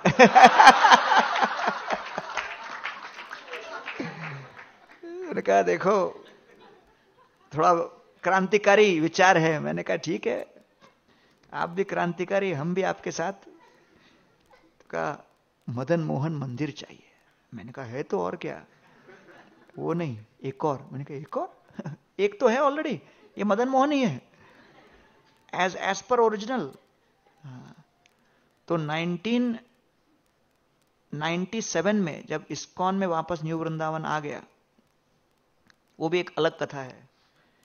तो राधानाथ महाराज ने हमारे गॉड ब्रदर को वृंदावन भेजा। उनका नाम था जय गोपाल दास। वो आर्किटेक्चर का एम, मास्टर्स कर रहे थे। तो महाराज ने उसको कहा, अपना मास्टर्स थीसिस का टॉपिक तुम वृंदावन सेवन टेम्पल्स डिज़ाइन लो। क्योंकि पूना यूनिवर्सिटी जब लेटर लिखेगा आर्कियोलॉजिकल सर्वे को, तब आर्कियोलॉजिकल सर्वे मेज़रमेंट लेने का परमिशन देगी। नहीं तो आप और मैं ऐसा लेके, डोरी लेके पहुँच गए तो भगा देंगे। एक तो वहाँ के जो पुजारी अलाउ नहीं करेंगे, और दूसरा लीगली नॉट अलाउड तो वो पूना यूनिवर्सिटी के लेटर को लेके ये पहुँचा, तब उनको परमिशन मिला पूरा मदन मोहन का ए टू जेड माप लेके। एक उनको भेजा, महाराज को फिर भी चैन नहीं हुई। कीर्ति मिस्त्री को वापस भेजा। क्षीरचोर, गोपीनाथ हमारा पूना वाला वो भी गया। उसने भी अलग, दो लोगों ने जाके टोटल मेज़रमेंट ड्राइंग्स लेके आए। एक सेट महाराज को दिया, एक सेट उसने खुद अपने पास रखा पूना में।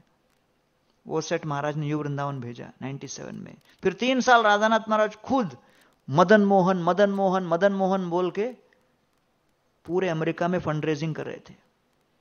हंड्रेड्स और थाउजेंड्स ऑफ़ डॉलर्स कलेक्शन किया न्यू वृंदावन को लाके दिया, वहाँ पे दूसरा कुछ फाइनेंशियल इमरजेंसी आ गया। बोले, मदन मोहन तो बहुत बड़ा सपना हो गया। पहले बिल भरते हम लोग, ये पैसा लाओ, और उसको स्वाहा हो गया।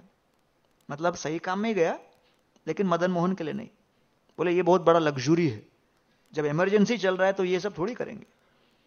फिर महाराज ने फिर दो साल फंड रेजिंग किया। फिर वहाँ प्रेसिडेंट बदल गए। फिर सब क्या हुआ? 2005-6 तक ये लीला चल रही थी। फिर महाराज का भी धीरज समाप्त हो गया। फिर बोले, वहाँ जो कार्य नहीं हो रहा, उसको हम यहाँ करेंगे। तो इसलिए वो मदन मोहन का जो ड्रीम है, वो पुराना ड्रीम है बहुत। तो फिर महाराज ने कहा, वो 1997 से मैं इसके पीछे लगा हुआ हूँ, अभी तक हुआ नहीं। Sanatan Goswami was the founder of Vrindavan, उनके प्रतीक में हमको एक बनाना चाहिए। जिससे कि हम उनकी पूजा करें। लोग आकर, महाराज ने कहा, हमेशा एक ही करते तुम रहोगे, मैं रहूँगा, ये लोग रहेंगे कब तक? कुछ साल की बात है। कमल दल जल, जीवन तल हम लोग आएँगे, जाएँगे, लेकिन हज़ार साल तक मदन मोहन रह के करोड़ों करोड़ों जीवों को यहाँ दर्शन दे के उनका उद्धार करते रहेंगे। उसके लिए हम लोग अभी निमित्त बनते हैं। थोड़ा तपस्या कर लो, क्या प्रॉब्लम है?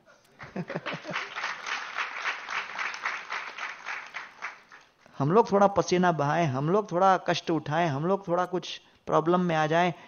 लेकिन हज़ार साल तक लोग आ, आके दर्शन करेंगे, उनको थोड़ी पता रहेगी कि कथा क्या है, कि कैसे ये बना। वो लोग तो आकर मदन मोहन जी का दर्शन लेके आनंद लेंगे, उनका जीवन बदलेगा। इस भाव के साथ उस मंदिर का निर्माण हुआ है और विग्रह अभी चेन्नई में आसपास वहाँ बन रहे हैं। और आशा है कि अक्टूबर 23-24 को फाइनल अगर डीटी मिनिस्ट्री और ब्यूरो और सबका परमिशन मिल जाए तो 23-24 अक्टूबर को मदन मोहन, ललिता और राधा रानी जी का प्रतिष्ठा होने की संभावना है।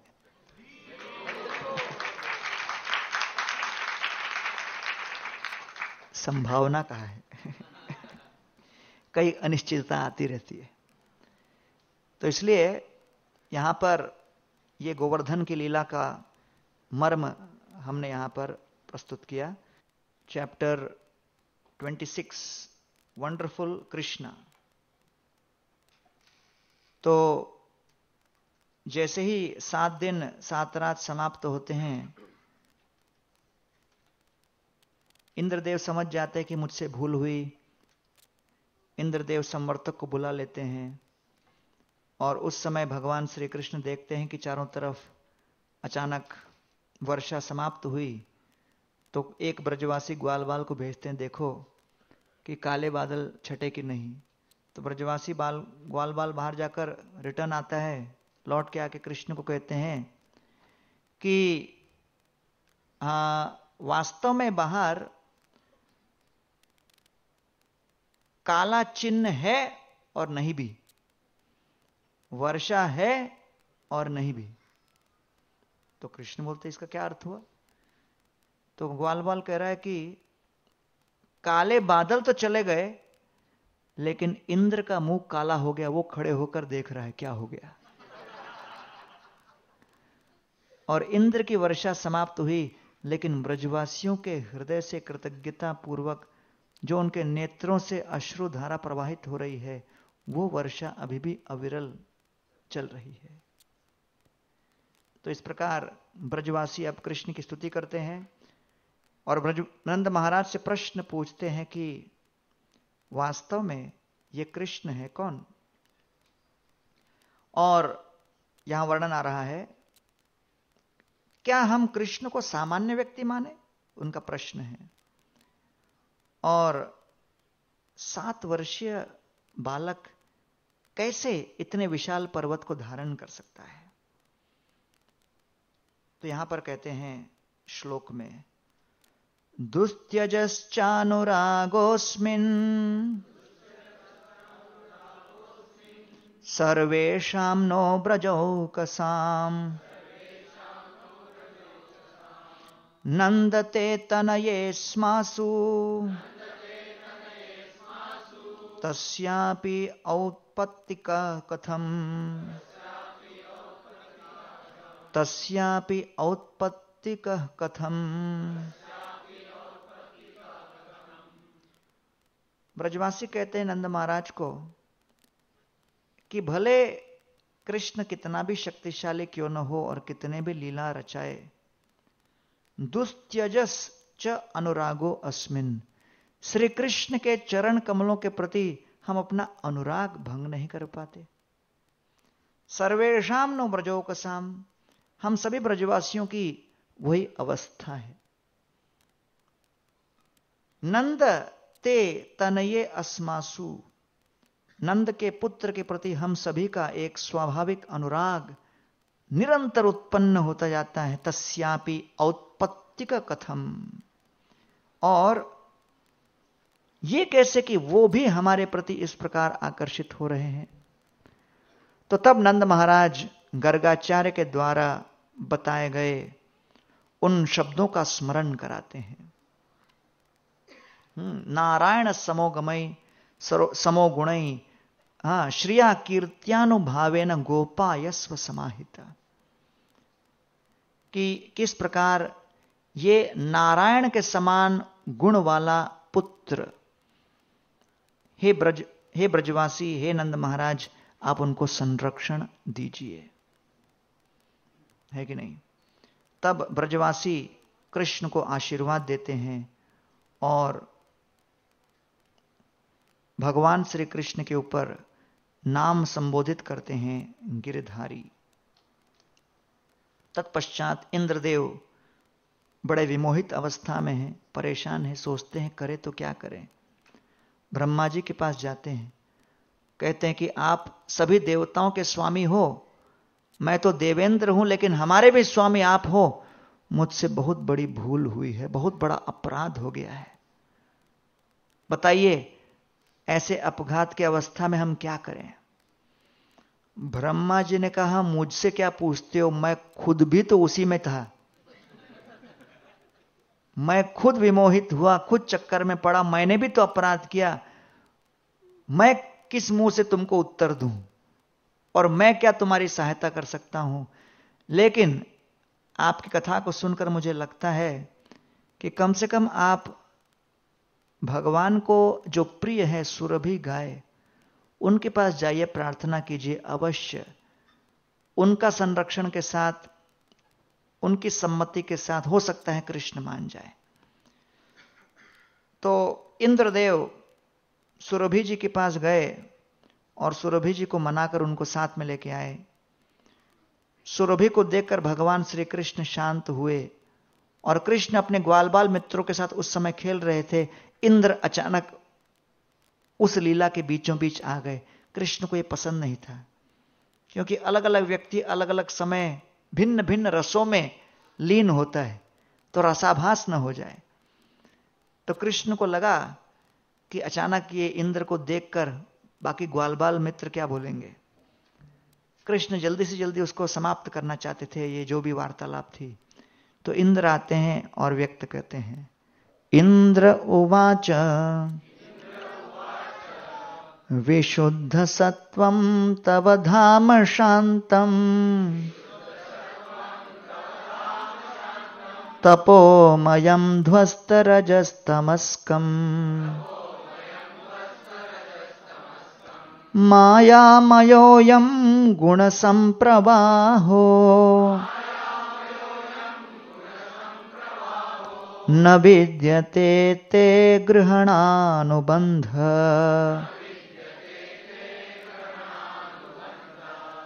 हे प्रभु, आपके चरणों का आश्रय पाकर रजो, तमो हर प्रकार के गुणों से मुक्त होंगे। और मायामय तीन गुणों का प्रवाह तब बंद होगा जब आपके चरणों का कोई आश्रय लेगा। आगे, मैं विचार करता हूँ कि आप निरंतर हमें स्मरण करें। कृष्ण कह रहे हैं कि हे इंद्र, आप अभिमान से अभिभूत होकर मुझ पर आक्रमण किए। मेरी शक्ति, मेरी सत्ता को आपने चुनौती दी तो ये बहुत बड़ा अपराध हुआ है। भविष्य में कभी ऐसा ना कीजिए। आप अब जाइए और मेरे आदेश अनुसार देवेंद्र के रूप में अपनी सेवा कीजिए। हाँ, आपकी सेवा को मैं नहीं लेना चाहता, लेकिन सेवा में आते हुए अड़चन और बाधाओं को मैं दूर करना चाहता हूँ। सुग्रीव भी चार महीने चातुर्मास के समय जब रामचंद्र जी की सेवा भूल गए और वो केवल अपने परिवार के साथ, पत्नियों के साथ आनंद में थे, रामचंद्र लक्ष्मण को बार बार पूछ रहे, अरे, क्या हुआ लक्ष्मण? सुग्रीव ने उस समय व्रत लिया था कि मेरी सहायता करेगा। वानर सेना को लेके हम लोग चढ़ाई करने वाले थे। कहाँ है वो? लगता है वो भूल गया। लक्ष्मण, जाओ और सुग्रीव को इस बात का स्मरण कराओ। चेतावनी दो। ये न संकुचिता पंथा ये न वाली हतोगता, समय तिष्ट सुग्रीव, माँ वाली हतमन्वगा। लक्ष्मण अपने अस्त्र शस्त्रों से सुसज्जित होकर सुग्रीव के समक्ष काल स्वरूप के रूप में खड़े होकर उसे चेतावनी दो कि हे सुग्रीव, जिस मार्ग से हमने वाली को मृत्यु के द्वार भेजा था, वो मार्ग अभी भी खुला है। जाओ मेरी ओर से संदेश दे के आओ। लक्ष्मण कहते हैं, संदेश क्यों? मार के ही आता हूँ। रामचंद्र बोले, नहीं नहीं भाई, एक तो चांस देना चाहिए। तो भगवान क्या है? चांस देने वाले स्वामी हैं। इसीलिए भगवान श्री कृष्ण का प्रधान भाव क्या है? कृपा, करुणा। और इसलिए जो भी व्यक्ति कृष्ण के मूवमेंट का प्रशासन करेगा, ऐसे प्रशासक को कृष्ण के हृदय के भाव को समझना आवश्यक है। तो इसलिए जब तक कृष्ण के हृदय के भाव को न समझें, तब तक प्रशासन करना वास्तव में चुनौतीपूर्ण प्रस्ताव है, आग के साथ खेलने के बराबर है। तो इसलिए कृष्ण ने कहा, ठीक है, कोई बात नहीं, इंद्र तुम भी क्या याद रखोगे? तो सुग्रीव को भी फिर मौका दिया। ऐसा नहीं कि सुग्रीव को कहा कि ठीक है, अब तुम उतरो, अब तुम वानर राज नहीं नहीं, तुम ही वानर राज। चढ़ाई करो। सुग्रीव आकर जब क्षमा याचना किए, रामचंद्र मान गए। फिर सुग्रीव कहने लगा, वानरों को बुलाकर आप उत्तर दिशा में जाओ। आपको ये मिलेगा ये मिलेगा ये मिलेगा। यहाँ पर भूगोल में ये है, यहाँ पर जलाशय है, यहाँ पर्वत है, यहाँ अलग अलग पूरा उनके कई पन्ने हैं रामायण में, पूरा विस्तृत जानकारी, संपूर्ण भूगोल की। कंप्लीट जोग्राफी ऑफ़ द ऐसा लग रहा मतलब जीपीएस चला रहा है।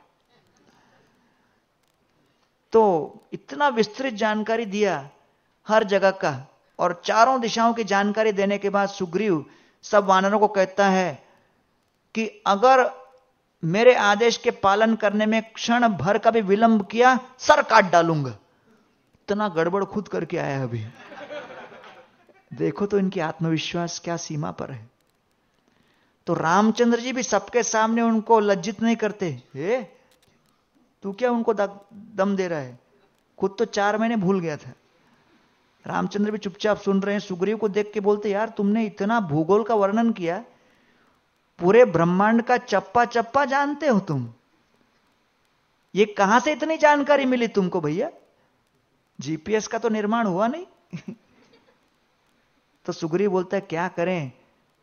उस समय वाली जब मेरे पीछे लगा हुआ था जान से मारने, पूरे ब्रह्मांड के कोने कोने में कहा छुप सकता हूँ गौर से देखा मैंने। जब जान पे आती है, तब ध्यान आता है। तो इसलिए, जब कोई उत्तरदायित्व लेता है, तब उत्तरदायित्व लेने पर दिमाग का स्विच ऑन होता है। इसलिए भक्ति रक्षक श्रीधर महाराज प्रभुपाद जी के गुरु भाई सरस्वती ठाकुर के शिष्य बोलते, bhakti begins when your intelligence switch on intelligence switch on when responsibility fall on the head therefore bhakti means take responsibility जो उत्तरदायित्व नहीं लेगा, दिमाग नहीं चलेगा। दिमाग नहीं चलेगा, भक्ति नहीं चलेगी। इसलिए यहाँ पर भगवान फिर इंद्रदेव को एक अवसर दे रहे हैं। आगे, सुरभि जी आती हैं कृष्ण के पास और प्रार्थनाएँ करती हैं, कृतज्ञता व्यक्त करती हैं, कहते हैं कि भगवान, आप सभी योगियों में श्रेष्ठ हो, संपूर्ण ब्रह्मांड के आत्मा हो, परमात्मा हो। आप ही स्वामी हो हमारे और सनातन काल के लिए आप हमारे स्वामी बनिए इसलिए सुरभि जी कृष्ण को कहती हैं, आप हमारे इंद्र बनिए और कृपा करके आप हमारे अभिषेक को स्वीकार कीजिए। और वहाँ पर कुंड में जो जल था, उस जल को लेकर ऐरावत ने भगवान श्री कृष्ण का वहीं पर अभिषेक किया और इंद्रदेव और सुरभि सभी ने मिलकर कृष्ण को एक नाम दिया, गोविंद। तो गोविंद, ताटे वसी आचे सदा ब्रजेंद्र नंदन श्री गोविंद देव नाम साक्षात मदन। वृंदावन कल्पद्र में सुवर्ण सदन, महायोग पीठ तहा रत्न सिंहासन। वृंदावन में एक योग पीठ है जहाँ पर रत्न सिंहासन पर ताते वसी आचे सदा ब्रजेंद्र नंदन ब्रजेंद्र नंदन वहाँ विराजमान है। उनका नाम है श्री गोविंद देव नाम साक्षात मदन। ये गोविंद देव भगवान वहाँ विराजमान है। ये गोविंद विग्रह रूप गोस्वामी के सामने प्रकट हुए। और तब वर्णन आता है कि राज सेवा होए तहा विचित्र प्रकार। हाँ, दिव्य सामग्री, दिव्य वस्त्र अलंकार सहस्त्र सेवक करे सेवा अनुक्षण, सहस्त्र वदने सेवा न याय वर्णन। सेवार अध्यक्ष श्री पंडित हरिदास, तार गुण मुख सर्वे न होए प्रकाश। कि उस गोविंद देव मंदिर की उस समय, अर्थात हम लोग कह रहे हैं लगभग 1590 और 1670 के बीच में यहाँ वर्णन करें कविराज गोस्वामी। राज सेवा होए तहा विचित्र प्रकार। भव्य रूप से वहाँ सेवा हो रही थी गोविंद देव की। दिव्य सामग्री, दिव्य रत्न अलंकार, हर प्रकार से दिव्यता के चिन्ह परिलक्षित हो रहे थे। और सहस्त्र सेवक सेवा करे अनुक्षण, सहस्त्र सहस्त्र सेवक, लाखों लाखों भक्त लोग आते थे गोविंद देव की सेवा में। ये 400 साल पहले की बात है। सहस्र वदने सेवा नयाय वर्णन। अर्थात, जो मंदिर फला फूला हो, हर प्रकार से धन, ऐश्वर्य, सेवा और सेवकों से परिपूर्ण हो, कभी यह विचार नहीं करना चाहिए, इतिहास के पन्नों में हमेशा ऐसा ही रहेगा। गोस्वामियों के द्वारा स्थापित मंदिरों का हाल बेहाल है आज।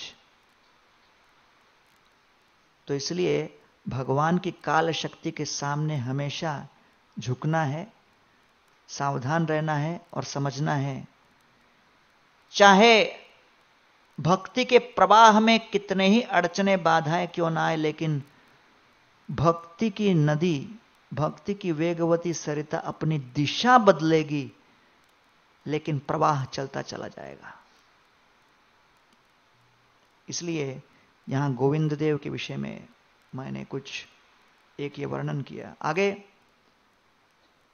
नंद महाराज एकादशी के पश्चात द्वादशी के प्रातःकालीन यमुना में स्नान करने जाते हैं। जब यमुना में स्नान करने जाते हैं तो अचानक उनको वरुण का एक सेवक बलपूर्वक उनको हस्तगत कर लेता है और वरुण देव के पास लेके जाते हैं।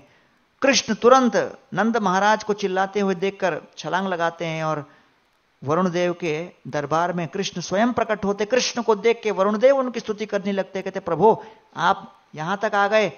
क्षमा करना, मेरा जो दास था, सेवक, वो थोड़ा मूर्ख था। तो इस प्रकार नंद महाराज को बचाने के लिए कृष्ण वरुणदेव तक पहुँच गए। वरुणदेव का यह श्लोक है कृष्ण के चरणों में। अद्य मे निर्भृतो देहो। अद्यैवार्थो अधिगत प्रभो।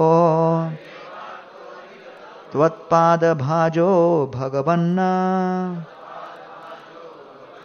वापुपारम अध्वन।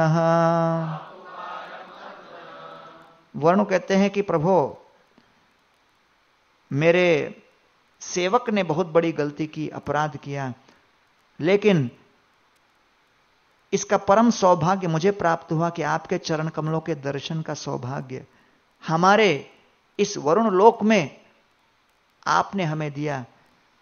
हमारा कितना सौभाग्य है ये। तो यहाँ वरुण देव के सेवक, तेरहवें नंबर के अनर्थ का प्रतिनिधित्व करते हैं। Varuna's associate represents the obstacle number thirteen जो भक्ति विनोद ठाकुर कहते हैं। वो क्या? कि ब्रज में किसी प्रकार के अन्य नशे की आवश्यकता नहीं, क्योंकि वरुण जो है, वरुण लोक वारुणी के लिए प्रसिद्ध है, नशा के लिए। तो भक्ति में आगे बढ़ना हो तो कई लोग इस प्रकार कहते हैं भक्ति के साथ साथ कुछ नशा भी करो तो भक्ति फास्ट मिलता है हा? तो कई लोगों में ये धारणा है कि भजन करते करते भक्ति करते करते थोड़ा कुछ साथ में हो जाए सपोर्ट तो कह रहे हैं कि नहीं ब्रज भक्ति में ब्रज का आनंद ही इतना मादक है अन्य किसी मादक द्रव्य की आवश्यकता नहीं। तो सोचिए कि अगर भगवान का नाम ले रहे हैं, प्रभुपाद को एक हिप्पी ने लेक्चर के बाद पूछा 1966 में, पूरा गांजा मार के आया था वो, और उस समय वहाँ पे एक था जो ड्रग्स का एक टाइप को बोलते थे, एलएसडी एलएसडी। है कि नहीं? तो उसको भी कई लोग स्पिरिचुअल नाम देते थे, बोलते थे एलएसडी लोगे तो और आध्यात्मिक विकास होगा करके सब उस समय चलता था। तो प्रभुपाद जी को पूछता है, Swami you spoke about Vaikuntha Vaikuntha what is Vaikuntha? तो प्रभुपाद बेचारे देखे उनको कि यार, जिस नशे में है, उसको वैकुंठ क्या समझाऊं? समझने की अवस्था में है क्या? प्रभुपाद देखकर बड़े करुणावश हृदय से बोले, Vaikuntha it is like ocean of LSD वो हिप्पी बोलता है ओ very good I want to go to Vaikuntha तो प्रभुपा जी का जो उत्तर था, सफल रहा कि उसके अंदर वैकुंठ प्राप्ति की इच्छा जाग गई। फिर जब उतरेगा, तब समझेगा वास्तव में क्या है। अब चढ़े हुए अवस्था में क्या समझेगा? तो इसलिए यहाँ यह कहा गया है और आगे कहते हैं क्राइम ऑफ़ वैष्णव अपराध. तो वरुण देव का जो सेवक था, उसने बहुत बड़ा अपराध किया। कि नंद महाराज जैसे इतने श्रेष्ठ वैष्णव कृष्ण के पिता को उन्होंने अपहरण किया। तो जब वरुण ने उसको पूछा, क्यों अपहरण किया? बोला, देखो, द्वादशी में ये पर्टिकुलर टाइमिंग तक कोई यमुना स्नान नहीं करना चाहिए एज पर रूल रेगुलेशन तो नंद महाराज उसके पहले घुस गए, इसलिए रूल्स के हिसाब से मैंने जो किया सही किया। तो वास्तव में जीव गोस्वामी कहते नहीं, उस दिन का द्वादशी एक स्पेशल द्वादशी था। और इसलिए उस टाइमिंग के हिसाब से, ज्योतिष के हिसाब से देखा जाए, नंद महाराज सही समय पर द्वादशी स्नान करने गए थे। तो यह एक टेक्निकल विवाद है। तो इसलिए यहाँ पर आचार्यगण कहते हैं, जो कुछ भी विवाद हो, अगर नंद महाराज ने गलती की भी हो तो कौन व्यक्ति क्या गलती कर रहा है उसे देखे बिना केवल आप नियम लागू करोगे, दंड करोगे, नरक में नंबर वन स्पॉट पाओगे। इसलिए सावधान रहो। नियम पालन करना कठिन है, लेकिन नियम पालन करवाना उससे भी ज़्यादा कठिन है। इसलिए वैष्णव समाज में बहुत सावधानी से पैर रखना है।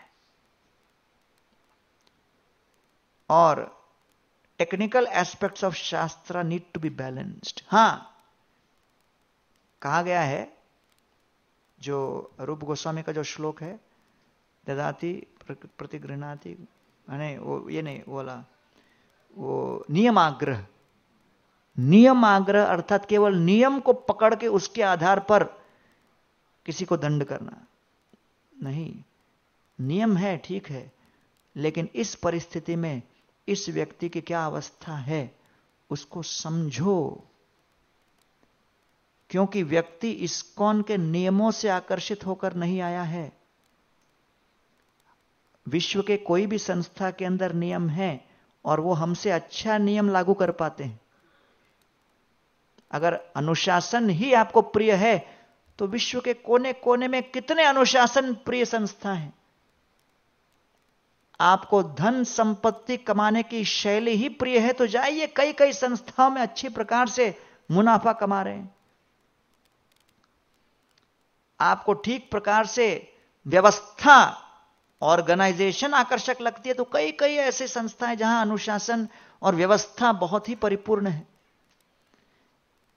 लेकिन जीव सत्संग में और इस्कॉन में क्यों आता है?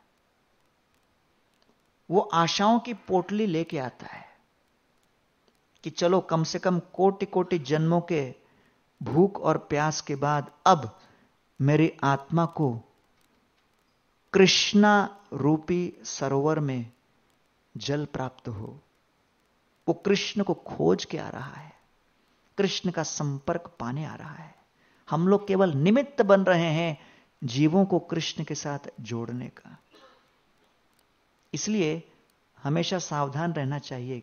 श्री वैष्णव आचार्य बताते हैं, लंका की सेना क्या प्रशासन वाली थी? क्या ऑर्गेनाइज थी लंका की सेना? क्या अस्त्र थे? क्या शस्त्र थे? क्या क्षत्रिय थे? क्या उनकी ट्रेनिंग थी? क्या प्रशिक्षण था? लंका के एक एक सैनिक के सामने। वानर सेना क्या थी? राम जी राम जी की सेना क्या थी? वानर सेना। अब राम जी भी स्वयं क्षत्रिय, बड़े क्षत्रियों से लदे हुए अस्त्र शस्त्रों से युद्ध कर सकते थे। वानर सेना क्यों खड़ा किया? एक कारण था। रामचंद्र जी बताना चाहते थे कि लंका की सेना सोने की राजधानी में थी। धन की कमी नहीं, प्रशासन की कमी नहीं, क्षत्रियता की कमी नहीं, बल की कमी नहीं अस्त्र शस्त्रों की कमी नहीं, हर प्रकार से वो युद्ध के लिए तैनात थे। उनके सामने खड़े हुए हैं बंदर, जो एक जगह बैठ नहीं सकते। बैटल स्ट्रेटजी क्या बोलेंगे? चार लोग एक जगह बैठे, तब तो प्लानिंग हो सकती है। मीटिंग स्टार्ट होने पर एक बंदर बैठा है, पाँच मिनट के बाद दूसरा बंदर वहाँ। तीसरा बंदर वहाँ, चौथा चेयरमैन के ऊपर ही बैठ जाए। मीटिंग क्या करोगे? स्ट्रेटजी क्या बनाएँगे? वानरों के साथ कोई स्ट्रेटजी बन सकता है क्या? तो न योजना बन सकती है। और उनके अस्त्र क्या थे? लकड़ी, छड़ी, डाली, कंकड़, पत्थर। कोई शक्तिशाली हो तो बड़ा पत्थर। कितना दूर जाएगा वो? ये थी वानर सेना। वानर, रीच, यही लोग थे, भालू। क्या आक्रमण करेंगे? तो इसलिए श्री वैष्णव कह रहे हैं, रामचंद्र ने जान बूझ के ऐसी सेना तैयार किया दिखाने के लिए कि राम की सेना मतलब वानर सेना। राम की सेना के पास सबसे शक्तिशाली अस्त्र शस्त्र क्या है? राम नाम।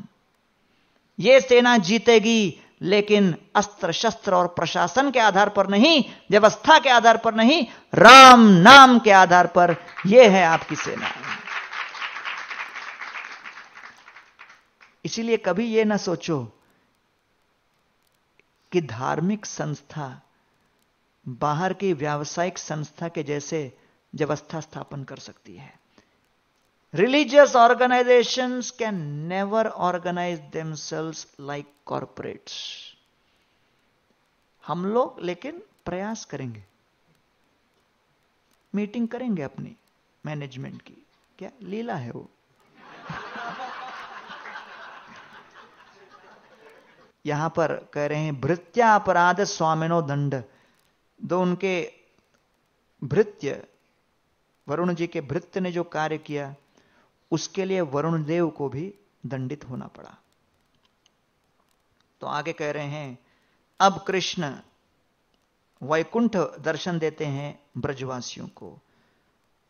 तो ये सुंदर श्लोक आया है, क्योंकि ब्रजवासियों के मन में विचार उत्पन्न हुआ कि कृष्ण क्या हमें कभी अपना दिव्य जो स्थान है वैकुंठ का दर्शन कराएँगे क्या?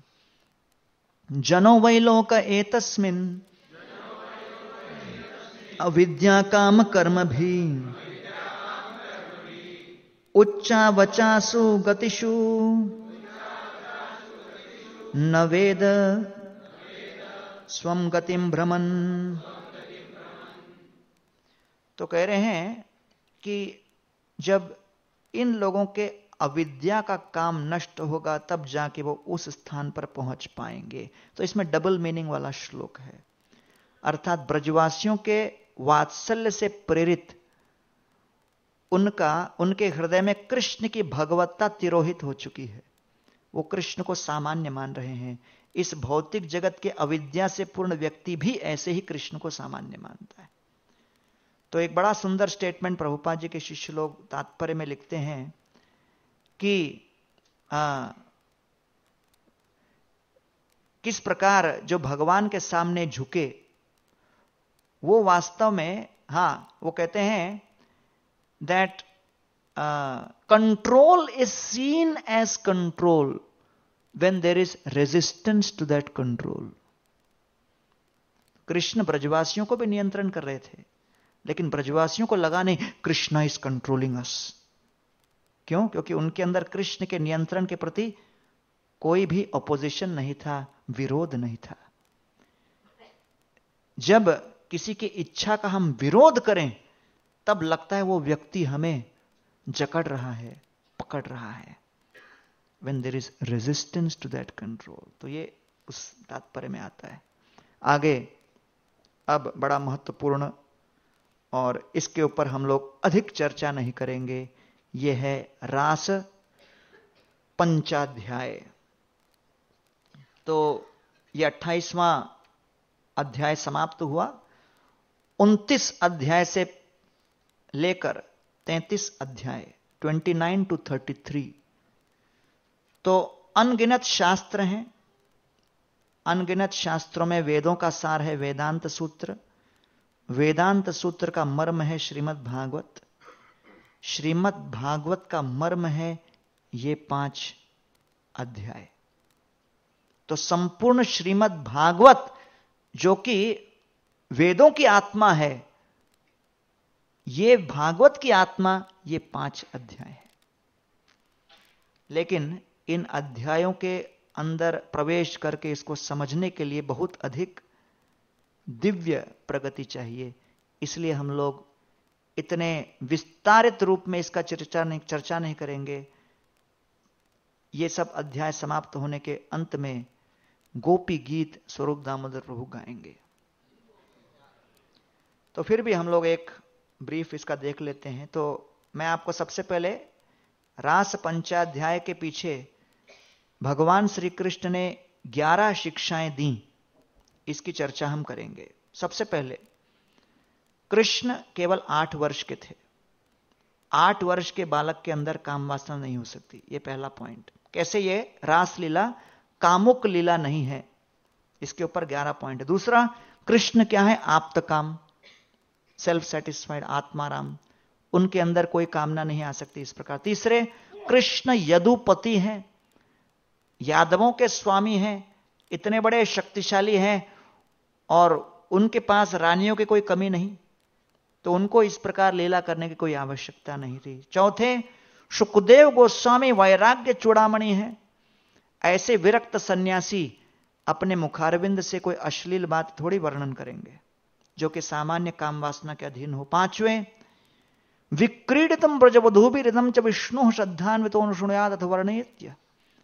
जो ये हरिकथा को सुनेगा, रास पंच, पंचाध्याय को सुनेगा, उसके हृदय की काम वासना नष्ट हो जाती है। अगर इसके अंदर काम वासना सन्निहित हो तो इसका श्रवण करके कैसे हम लोग शुद्ध हो सकते हैं?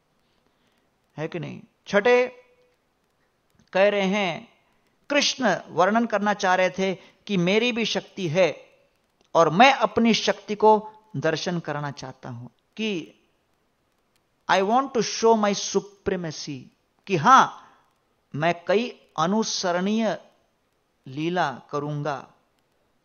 और अनुकरण लीला भी करूँगा, लेकिन कई लीला करूँगा जो केवल भगवान ही कर सकते हैं। भगवान और जीव में अंतर दिखाने के लिए मैंने लीला की।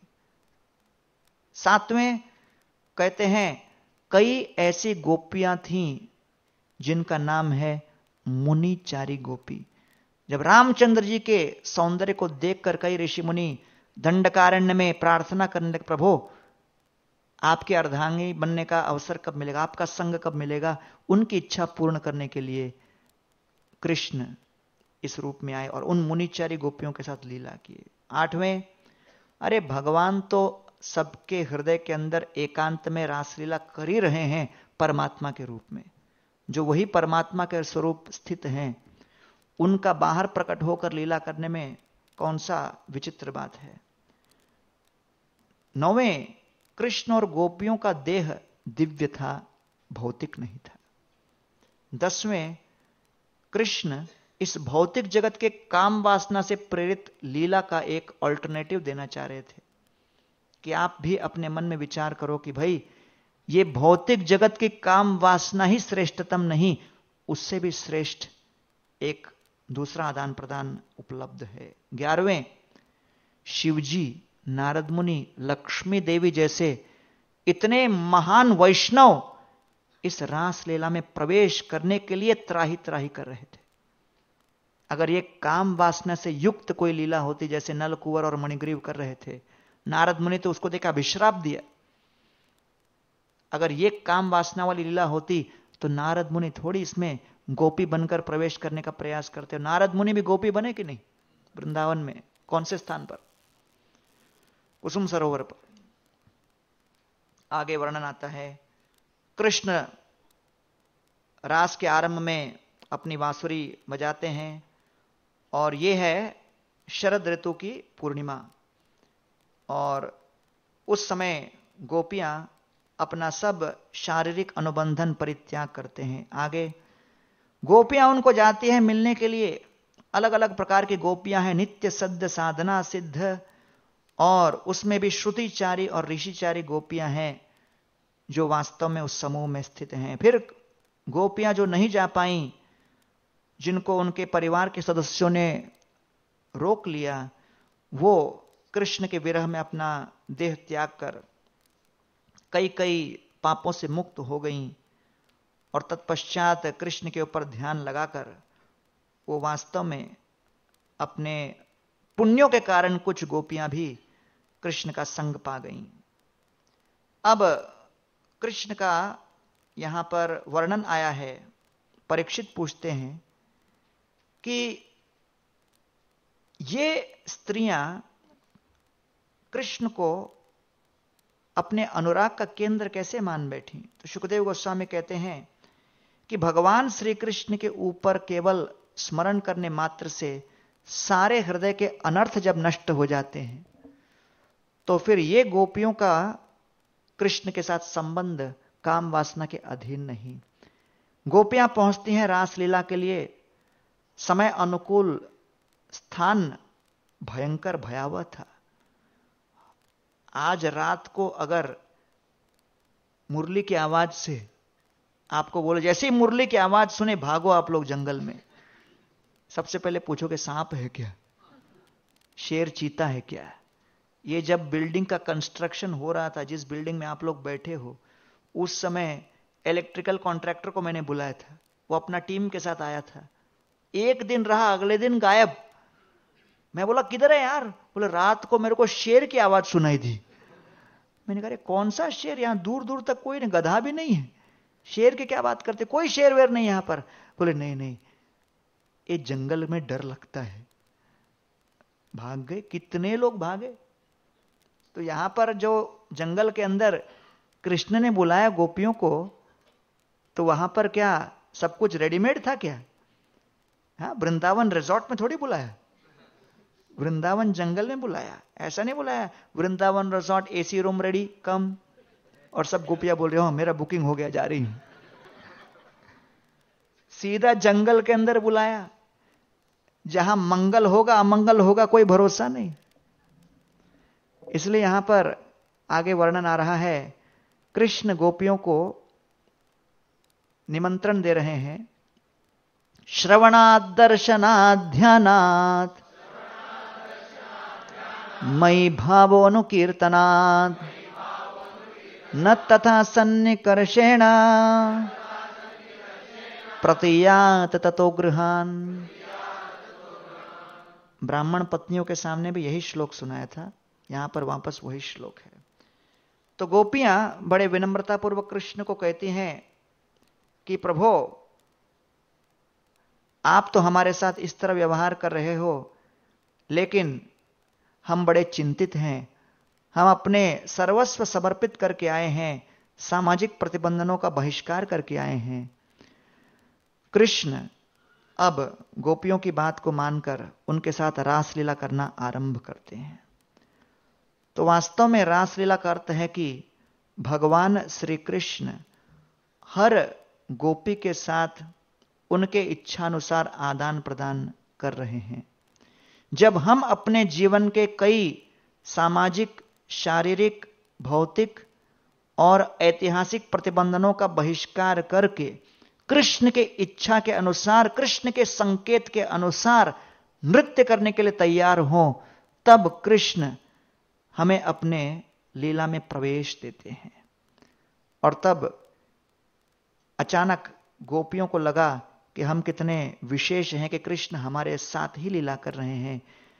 उनके इस बढ़ते हुए अभिमान को देखकर कृष्ण अचानक वहाँ से गायब हो गए। गोपियाँ पागल हो गईं। चारों दिशाओं में वृक्षों को पूछने लगी, कृष्ण कहाँ है? कृष्ण कहाँ है? तत्पश्चात गोपियाँ कृष्ण की अलग अलग लीलाओं का अनुगमन करने लगी। कृष्ण की जितनी लीलाएँ हैं, उनका अनुस्मरण करने लगी।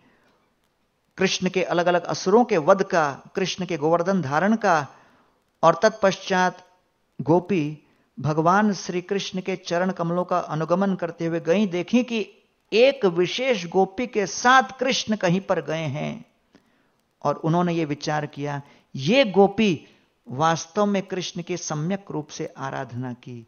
सुखदेव गोस्वामी संपूर्ण बारह स्कंद में श्रीमती राधा रानी का नाम कहीं नहीं लिए, प्रत्यक्ष रूप से, क्योंकि उनको भय था कि भाव विभोर होकर कहीं कथा स्थगित न हो जाए, परीक्षित का क्या होगा? सर्जरी में आया हुआ सर्जन अगर झटका खाए तो पेशेंट का क्या होगा? है कि नहीं? पेशेंट पड़ा है बेचारा, सर्जन आके बोले, मैं सो रहा हूँ थोड़ा, मैं थोड़ा रेस्ट लेता हूँ। अरे अगर सर्जन रेस्ट में चला जाए तो फिर पेशेंट तो हमेशा के लिए रेस्ट में चला जाएगा। तो इसलिए यहाँ पर केवल एक परोक्ष रूप से श्लेष वर्णन राधा रानी का कहीं हुआ है पूरे भागवत में तो इस श्लोक में, अनयाराधितो नूनम, भगवान हरिश्वर यन्नो विहाय गोविंद प्रीतोयम अनयात्र। तो सब गोपियाँ जो वो विशेष गोपी कृष्ण के साथ गई थी, कृष्ण ने उनको भी तिरस्कार कर दिया। सब फिर गोपियाँ यमुना के तट पे आ गईं और देखें कि कृष्ण ने हम सभी का बहिष्कार कर दिया। तब कृष्ण के विरह में, इकतीसवें अध्याय में गोपियाँ गोपी गीत गाती हैं। और उसका प्रथम श्लोक अभी हम लोग जो है कुछ समय के पश्चात गाएँगे, आगे आगे अपन चलते हैं। तो ये सब कृष्ण को अलग अलग रूप से तिलांजलि करने लगी, कृष्ण को दोषारोपण करने लगी, और कुछ गोपियों ने अपने हृदय की इच्छा को व्यक्त की कि आइए कृष्ण हमारे मुखमंडल का दर्शन कीजिए, मुखमंडल को आशीर्वाद दीजिए। किसी ने कहा, हमारे आप अपने चरण कमलों से आप हमारे पूर्व पापों का नाश कीजिए। जिन चरण कमलों से आप गोचारण करते हो, वक्षोविलासिनी लक्ष्मी उनके निरंतर पाद सम्माहन करती हैं, आप उन चरण कमलों से हमारे काम वासना को नष्ट कर सकते हो। फिर आप अपने अधर से हमें आशीर्वाद दीजिए। इस प्रकार तब कथामृतम श्लोक बोलते हुए कृष्ण को कहती हैं, जब कृष्ण प्रकट नहीं होते कि कैसे कृष्ण ने हमें अलग अलग समय परेशान किया, प्रातःकालीन चले जाते हैं, संध्याकालीन लौट के आते हैं, और कृष्ण के चरण कमलों की वो स्तुति करते हैं, कृष्ण की स्तुति करते हैं, और गोपियाँ, गोपी गीत में ही अंत तो गत्वा इस तरह कहते हैं कि रहसी संविदो हृक्षयोदयम प्रहसिताननम प्रेम वीक्षणम। हम आपके ही संग का लाभ लेना चाहते हैं, आपकी प्रतीक्षा कर रहे हैं। तासाम आविर्भूत शौरी स्मयमान मुखाम्बुज पीतांबर धर सृग्वी साक्षान मनमथ मनमथ। आगे बत्तीसवें अध्याय में आया है, जब गोपियाँ लौट के आती हैं कृष्ण के पास रो, क्रंदन करने लगती है, रोने लगती हैं। और तत्पश्चात कृष्ण के प्रकट होने पर अलग अलग गोपियाँ कृष्ण के साथ आदान प्रदान करती हैं, कृष्ण के सौंदर्य का दर्शन करती हैं, गोपियाँ कृष्ण की सेवा करती हैं, पूजा करती हैं, और गोपियाँ कृष्ण से प्रश्न करती हैं, तीन श्रेणियों के सेविकाओं में श्रेष्ठ कौन है? आप किस कैटेगरी में हो? Are you selfish motivated lover selfless unmotivated lover indifferent कि आपके अंदर कौन सी भावना है? इस प्रश्न के उत्तर में कृष्ण कहते हैं कि न मैं स्वार्थ से पूरित हूँ, न निस्वार्थ सेवा भाव से पूरित हूँ, न मैं आपके प्रति उपेक्षापूर्ण व्यवहार कर रहा हूँ। वास्तव में तीन प्रकार के श्रेणियों से परे हूँ मैं। तो गोपियाँ समझ नहीं पाती। तो इस संदर्भ में कृष्ण कहते हैं कि गोपियों, आप लोगों ने अपने हृदय के भाव को इस प्रकार व्यक्त किया। इतिहास में कोटि कोटि सेवकों ने दास दासियों ने मेरी सेवा करने का प्रयास किया। मुझे स्वामी के बाज़ार में अलग अलग प्रकार से अलग अलग स्तर पर मूल्य देकर नीलामी करके मुझे खरीदने का प्रयास किया। लेकिन आप लोगों ने जो इस प्रकार मूल्य देकर मुझे खरीदा है, मैं बुरी तरह बिक गया, नीलामी मेरी हो गई, मैं तो केवल आपका दास बन गया हूँ। कहते हैं, न पार ये हम निरवध्य संयुजाम। स्वसाधुकृत्यम विबुधायुषा पिवा या मा भजन दुर्जरगेह श्रृंखला। संवृक्ष तद्व प्रतियश्च साधुना। तत्पश्चात कह रहे हैं, आपने हमें जो मूल्य देकर खरीदा है, हम इतने ऋणी हो गए कि सनातन काल तक हम उस मूल्य को नहीं चुका सकते। हम आपके सदा के लिए ऋणी हो गए। इसलिए आप अपने ही प्रेम से संतुष्ट रहो, क्योंकि आपका प्रेम का की गुणवत्ता इतनी श्रेष्ठ है कि मेरे पास चुकाने के लिए मूल्य नहीं। तब रासलीला का वर्णन करते हैं। तत्पश्चात परीक्षित महाराज प्रश्न पूछते हैं। पहला प्रश्न, क्या यह रासलीला धर्म का विरोध है? दूसरा प्रश्न, इसके पीछे मूल कारण क्या है? पहले प्रश्न के उत्तर में सुखदेव गोस्वामी कहते हैं, नहीं, धर्म का विरोध नहीं, क्योंकि कृष्ण अग्नि की भांति प्रज्वलित हैं। और इसलिए अग्नि जो कार्य करे, वो दूसरा, किसी के सामने कोई दूसरा व्यक्ति उसका अनुकरण नहीं कर सकता। इसलिए जो श्रेष्ठ व्यक्ति कार्य करे, जो दिव्य शरीर को लेकर कार्य करे, जो भगवान कार्य करे उसकी नकल कोई नहीं कर सकता। दूसरा, भगवान श्री कृष्ण के शक्ति का वर्णन करते हुए कहते हैं कि वास्तव में इतने शक्तिशाली भगवान भी सामान्य मानव की तरह लीला करते हैं, ये प्रदर्शित करने कि मैं अपने भक्तों पर कृपा करता हूँ और उनके चित्त वृत्ति को मेरी ओर आकर्षित करना चाहता हूँ। अनुग्रहाय भक्तानां। मानुषं देहमास्थिता। भजते तादृशी क्रीडा। या श्रुत्वा तत्परो भवे कि इन लीलाओं को सुनकर या श्रुत्वा तत्परो, वो दिव्य स्तर पर आ जाता है। तत्पश्चात नंद महाराज और ब्रजवासी शिवरात्रि से पूर्व अंबिकावन में जाते हैं शिव जी की सेवा करने, पूजा करने, वहाँ पर एक विद्याधर नाम का जो देवता है, वो एक विकराल सर्प का रूप धारण करके नंद महाराज को निगलने का प्रयास करता है। नंद महाराज का शरीर आधा अंदर चला जाता है, तब कृष्ण को पुकारते हैं, कृष्ण आकर उस सर्प की हत्या कर देते हैं। तत्पश्चात नंद महाराज बचते हैं। यहाँ पर भक्ति विनोद ठाकुर कहते हैं, ये सर्प पंद्रहवें अड़चन का प्रतिनिधित्व करते हैं। फिफ्टींथ ऑब्स्टिकल वो क्या?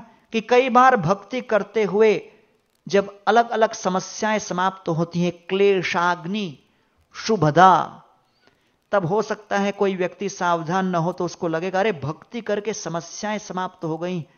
लगता है मुक्ति का ही आनंद लेना चाहिए। तो मुक्ति रूपी सर्प का यह प्रतीक है।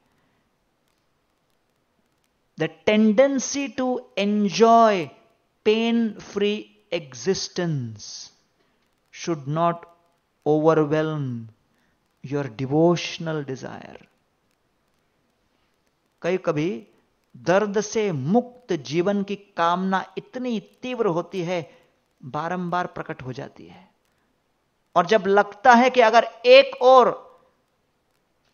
दर्द से मुक्त, अगर मुक्ति प्राप्त हो और दर्द से युक्त सेवा प्राप्त हो, इसी को ले लें क्या?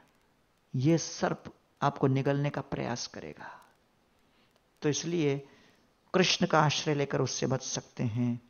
कृष्ण ने उससे पूछा, आप कौन हो? विद्याधर ने बताया कि हम सुदर्शन नाम के एक विद्याधर हैं और अंगिर ऋषि के वंशज को हमने उपहास किया और उन्होंने हमें सर्प बनने का अभिश्राप कर दिया। लेकिन वो कहते हैं, प्रभो, मैं आपके चरणों में समर्पित हूँ। आप मुझे जैसे आदेश करोगे, हम वैसे ही करेंगे। तत्पश्चात जब कृष्ण और बलराम तो Krishna and Balarama save the gopis तो गोपियों को यह शंखाचूड़ नाम का असुर आकर उठा के लेके भागने लगा। तो गोपियाँ चिल्लाने लगी कृष्ण को देखकर। तो तब कृष्ण और बलराम तुरंत गए और शंखाचूड़ को मुष्टि प्रहार से समाप्त किया और उसकी मणि को लेकर उन्होंने राधा रानी को दे दी। और ये मणि बाद में चलकर शामंतक मणि के कांड का उद्गम बनती है। तो इसलिए ये वास्तव में हाँ चौदहवें जो हैं द फोर्टींथ ऑब्स्टकल फिफ्टींथ हमने पहले बता दिया, उल्टा है एक्चुअली तो ये टोटल अभी पंद्रह हुआ इसको मिलाकर। और ये हैं फेम, यश, और भक्ति के माध्यम से इंद्र तृप्ति की कामना। इंद्र तृप्ति की अभिलाषा, लेकिन भक्ति करते हुए। भक्ति भी करूँ, थोड़ा इंद्र तृप्ति भी पालू, ऐसी भावना। एक कॉलेज के स्टूडेंट को मैं पूछ रहा था, तेरा महाजन कौन है? वो बोलता है, अजामिल मेरा महाजन है। मैंने कहा, इतने लोगों में तुमको अजामिल ही मिला क्या? अजामिल क्यों पूजनी है तेरे लिए? बोलते उसने मज़ा भी किया, भगवत धाम भी गया। तो ये डायरेक्ट ये ऑब्स्टिकल है।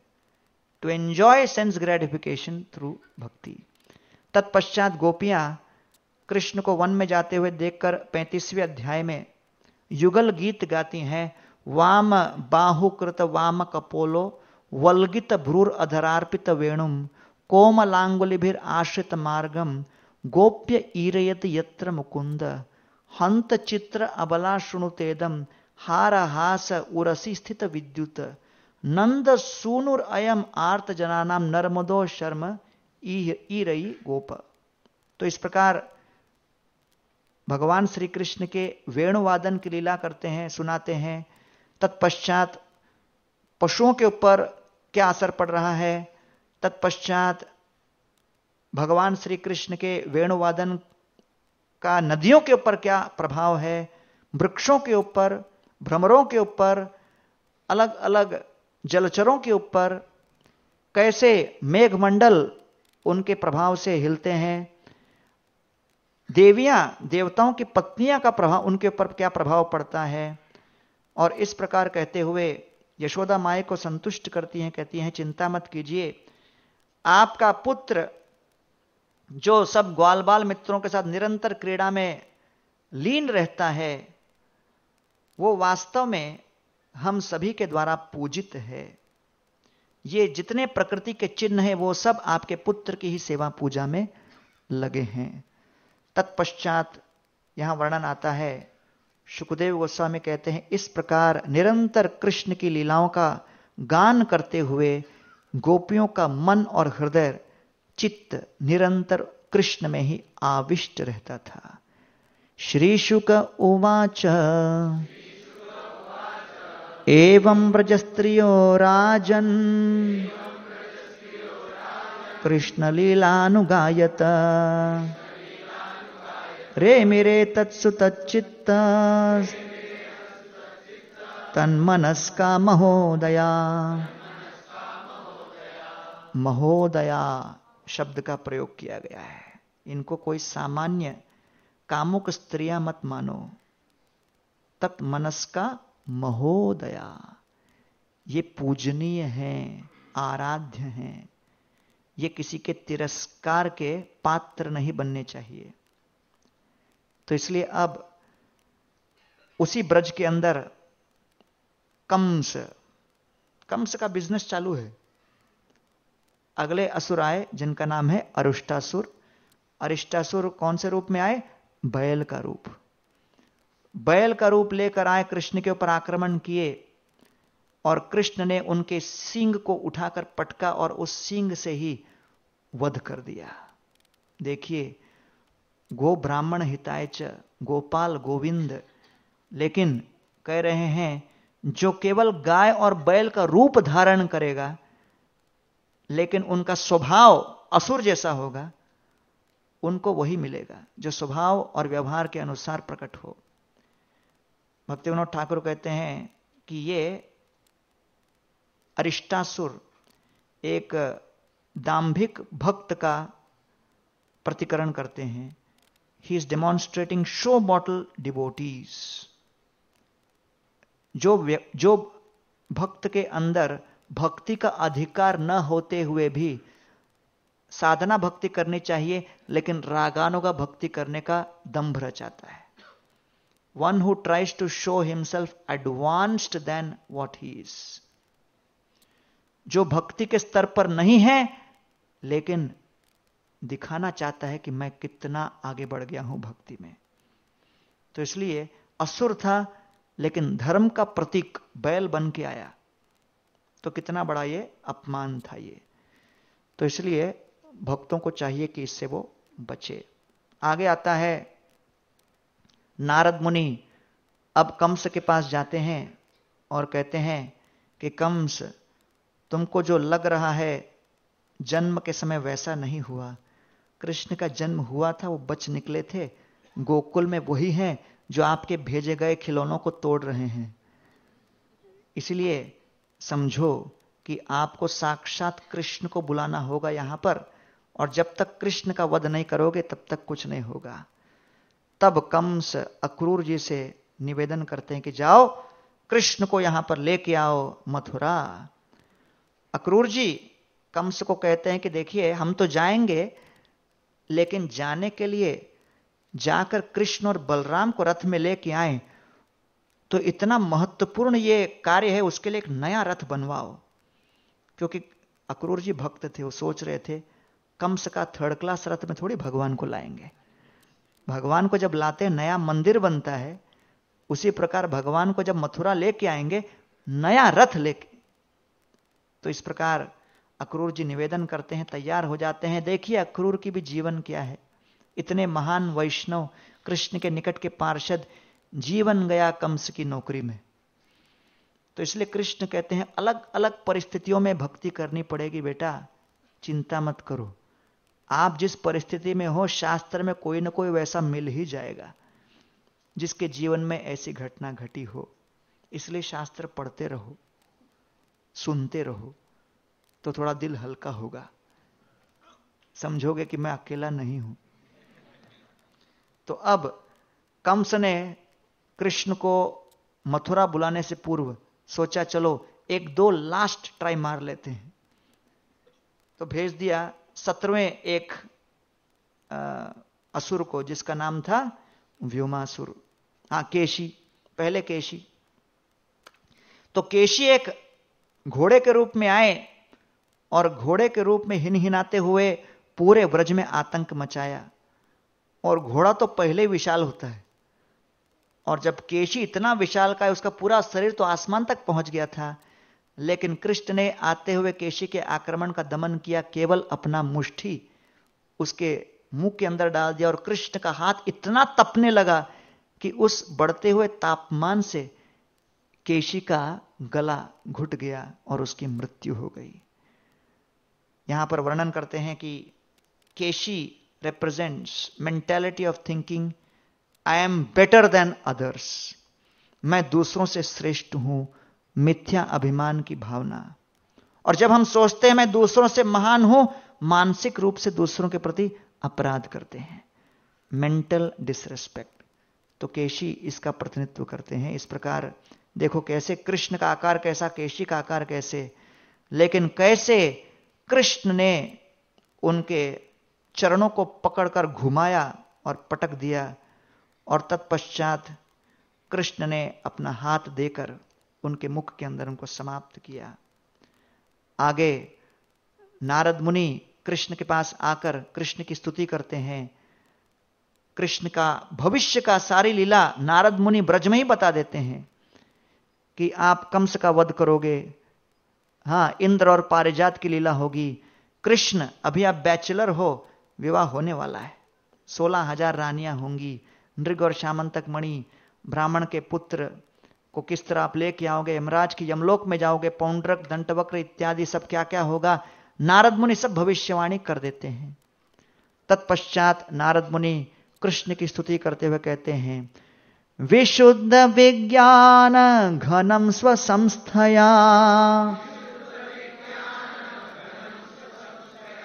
समाप्त सर्वा दृढ़मोघ वंचितम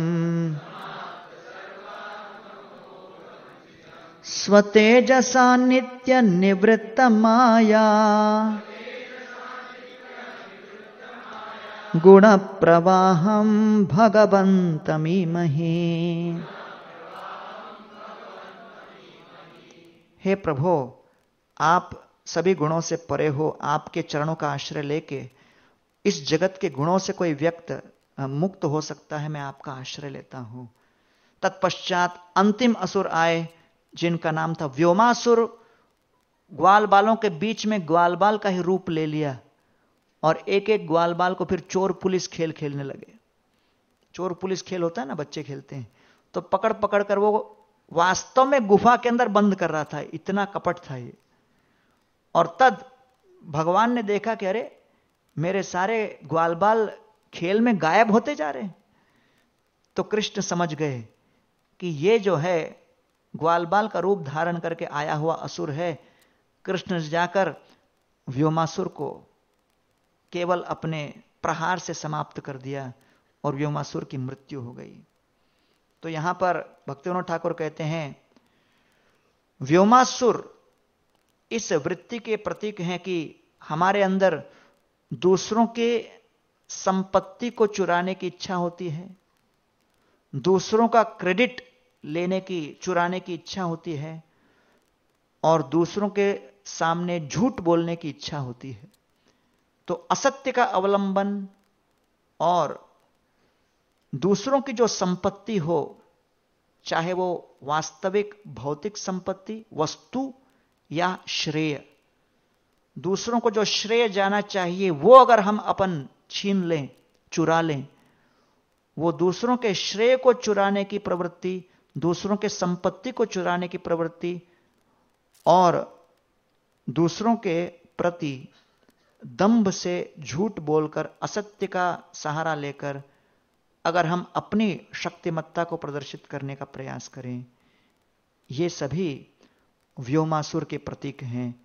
इससे बचने का प्रयास करना चाहिए यह भी एक बहुत बड़ा अनर्थ है।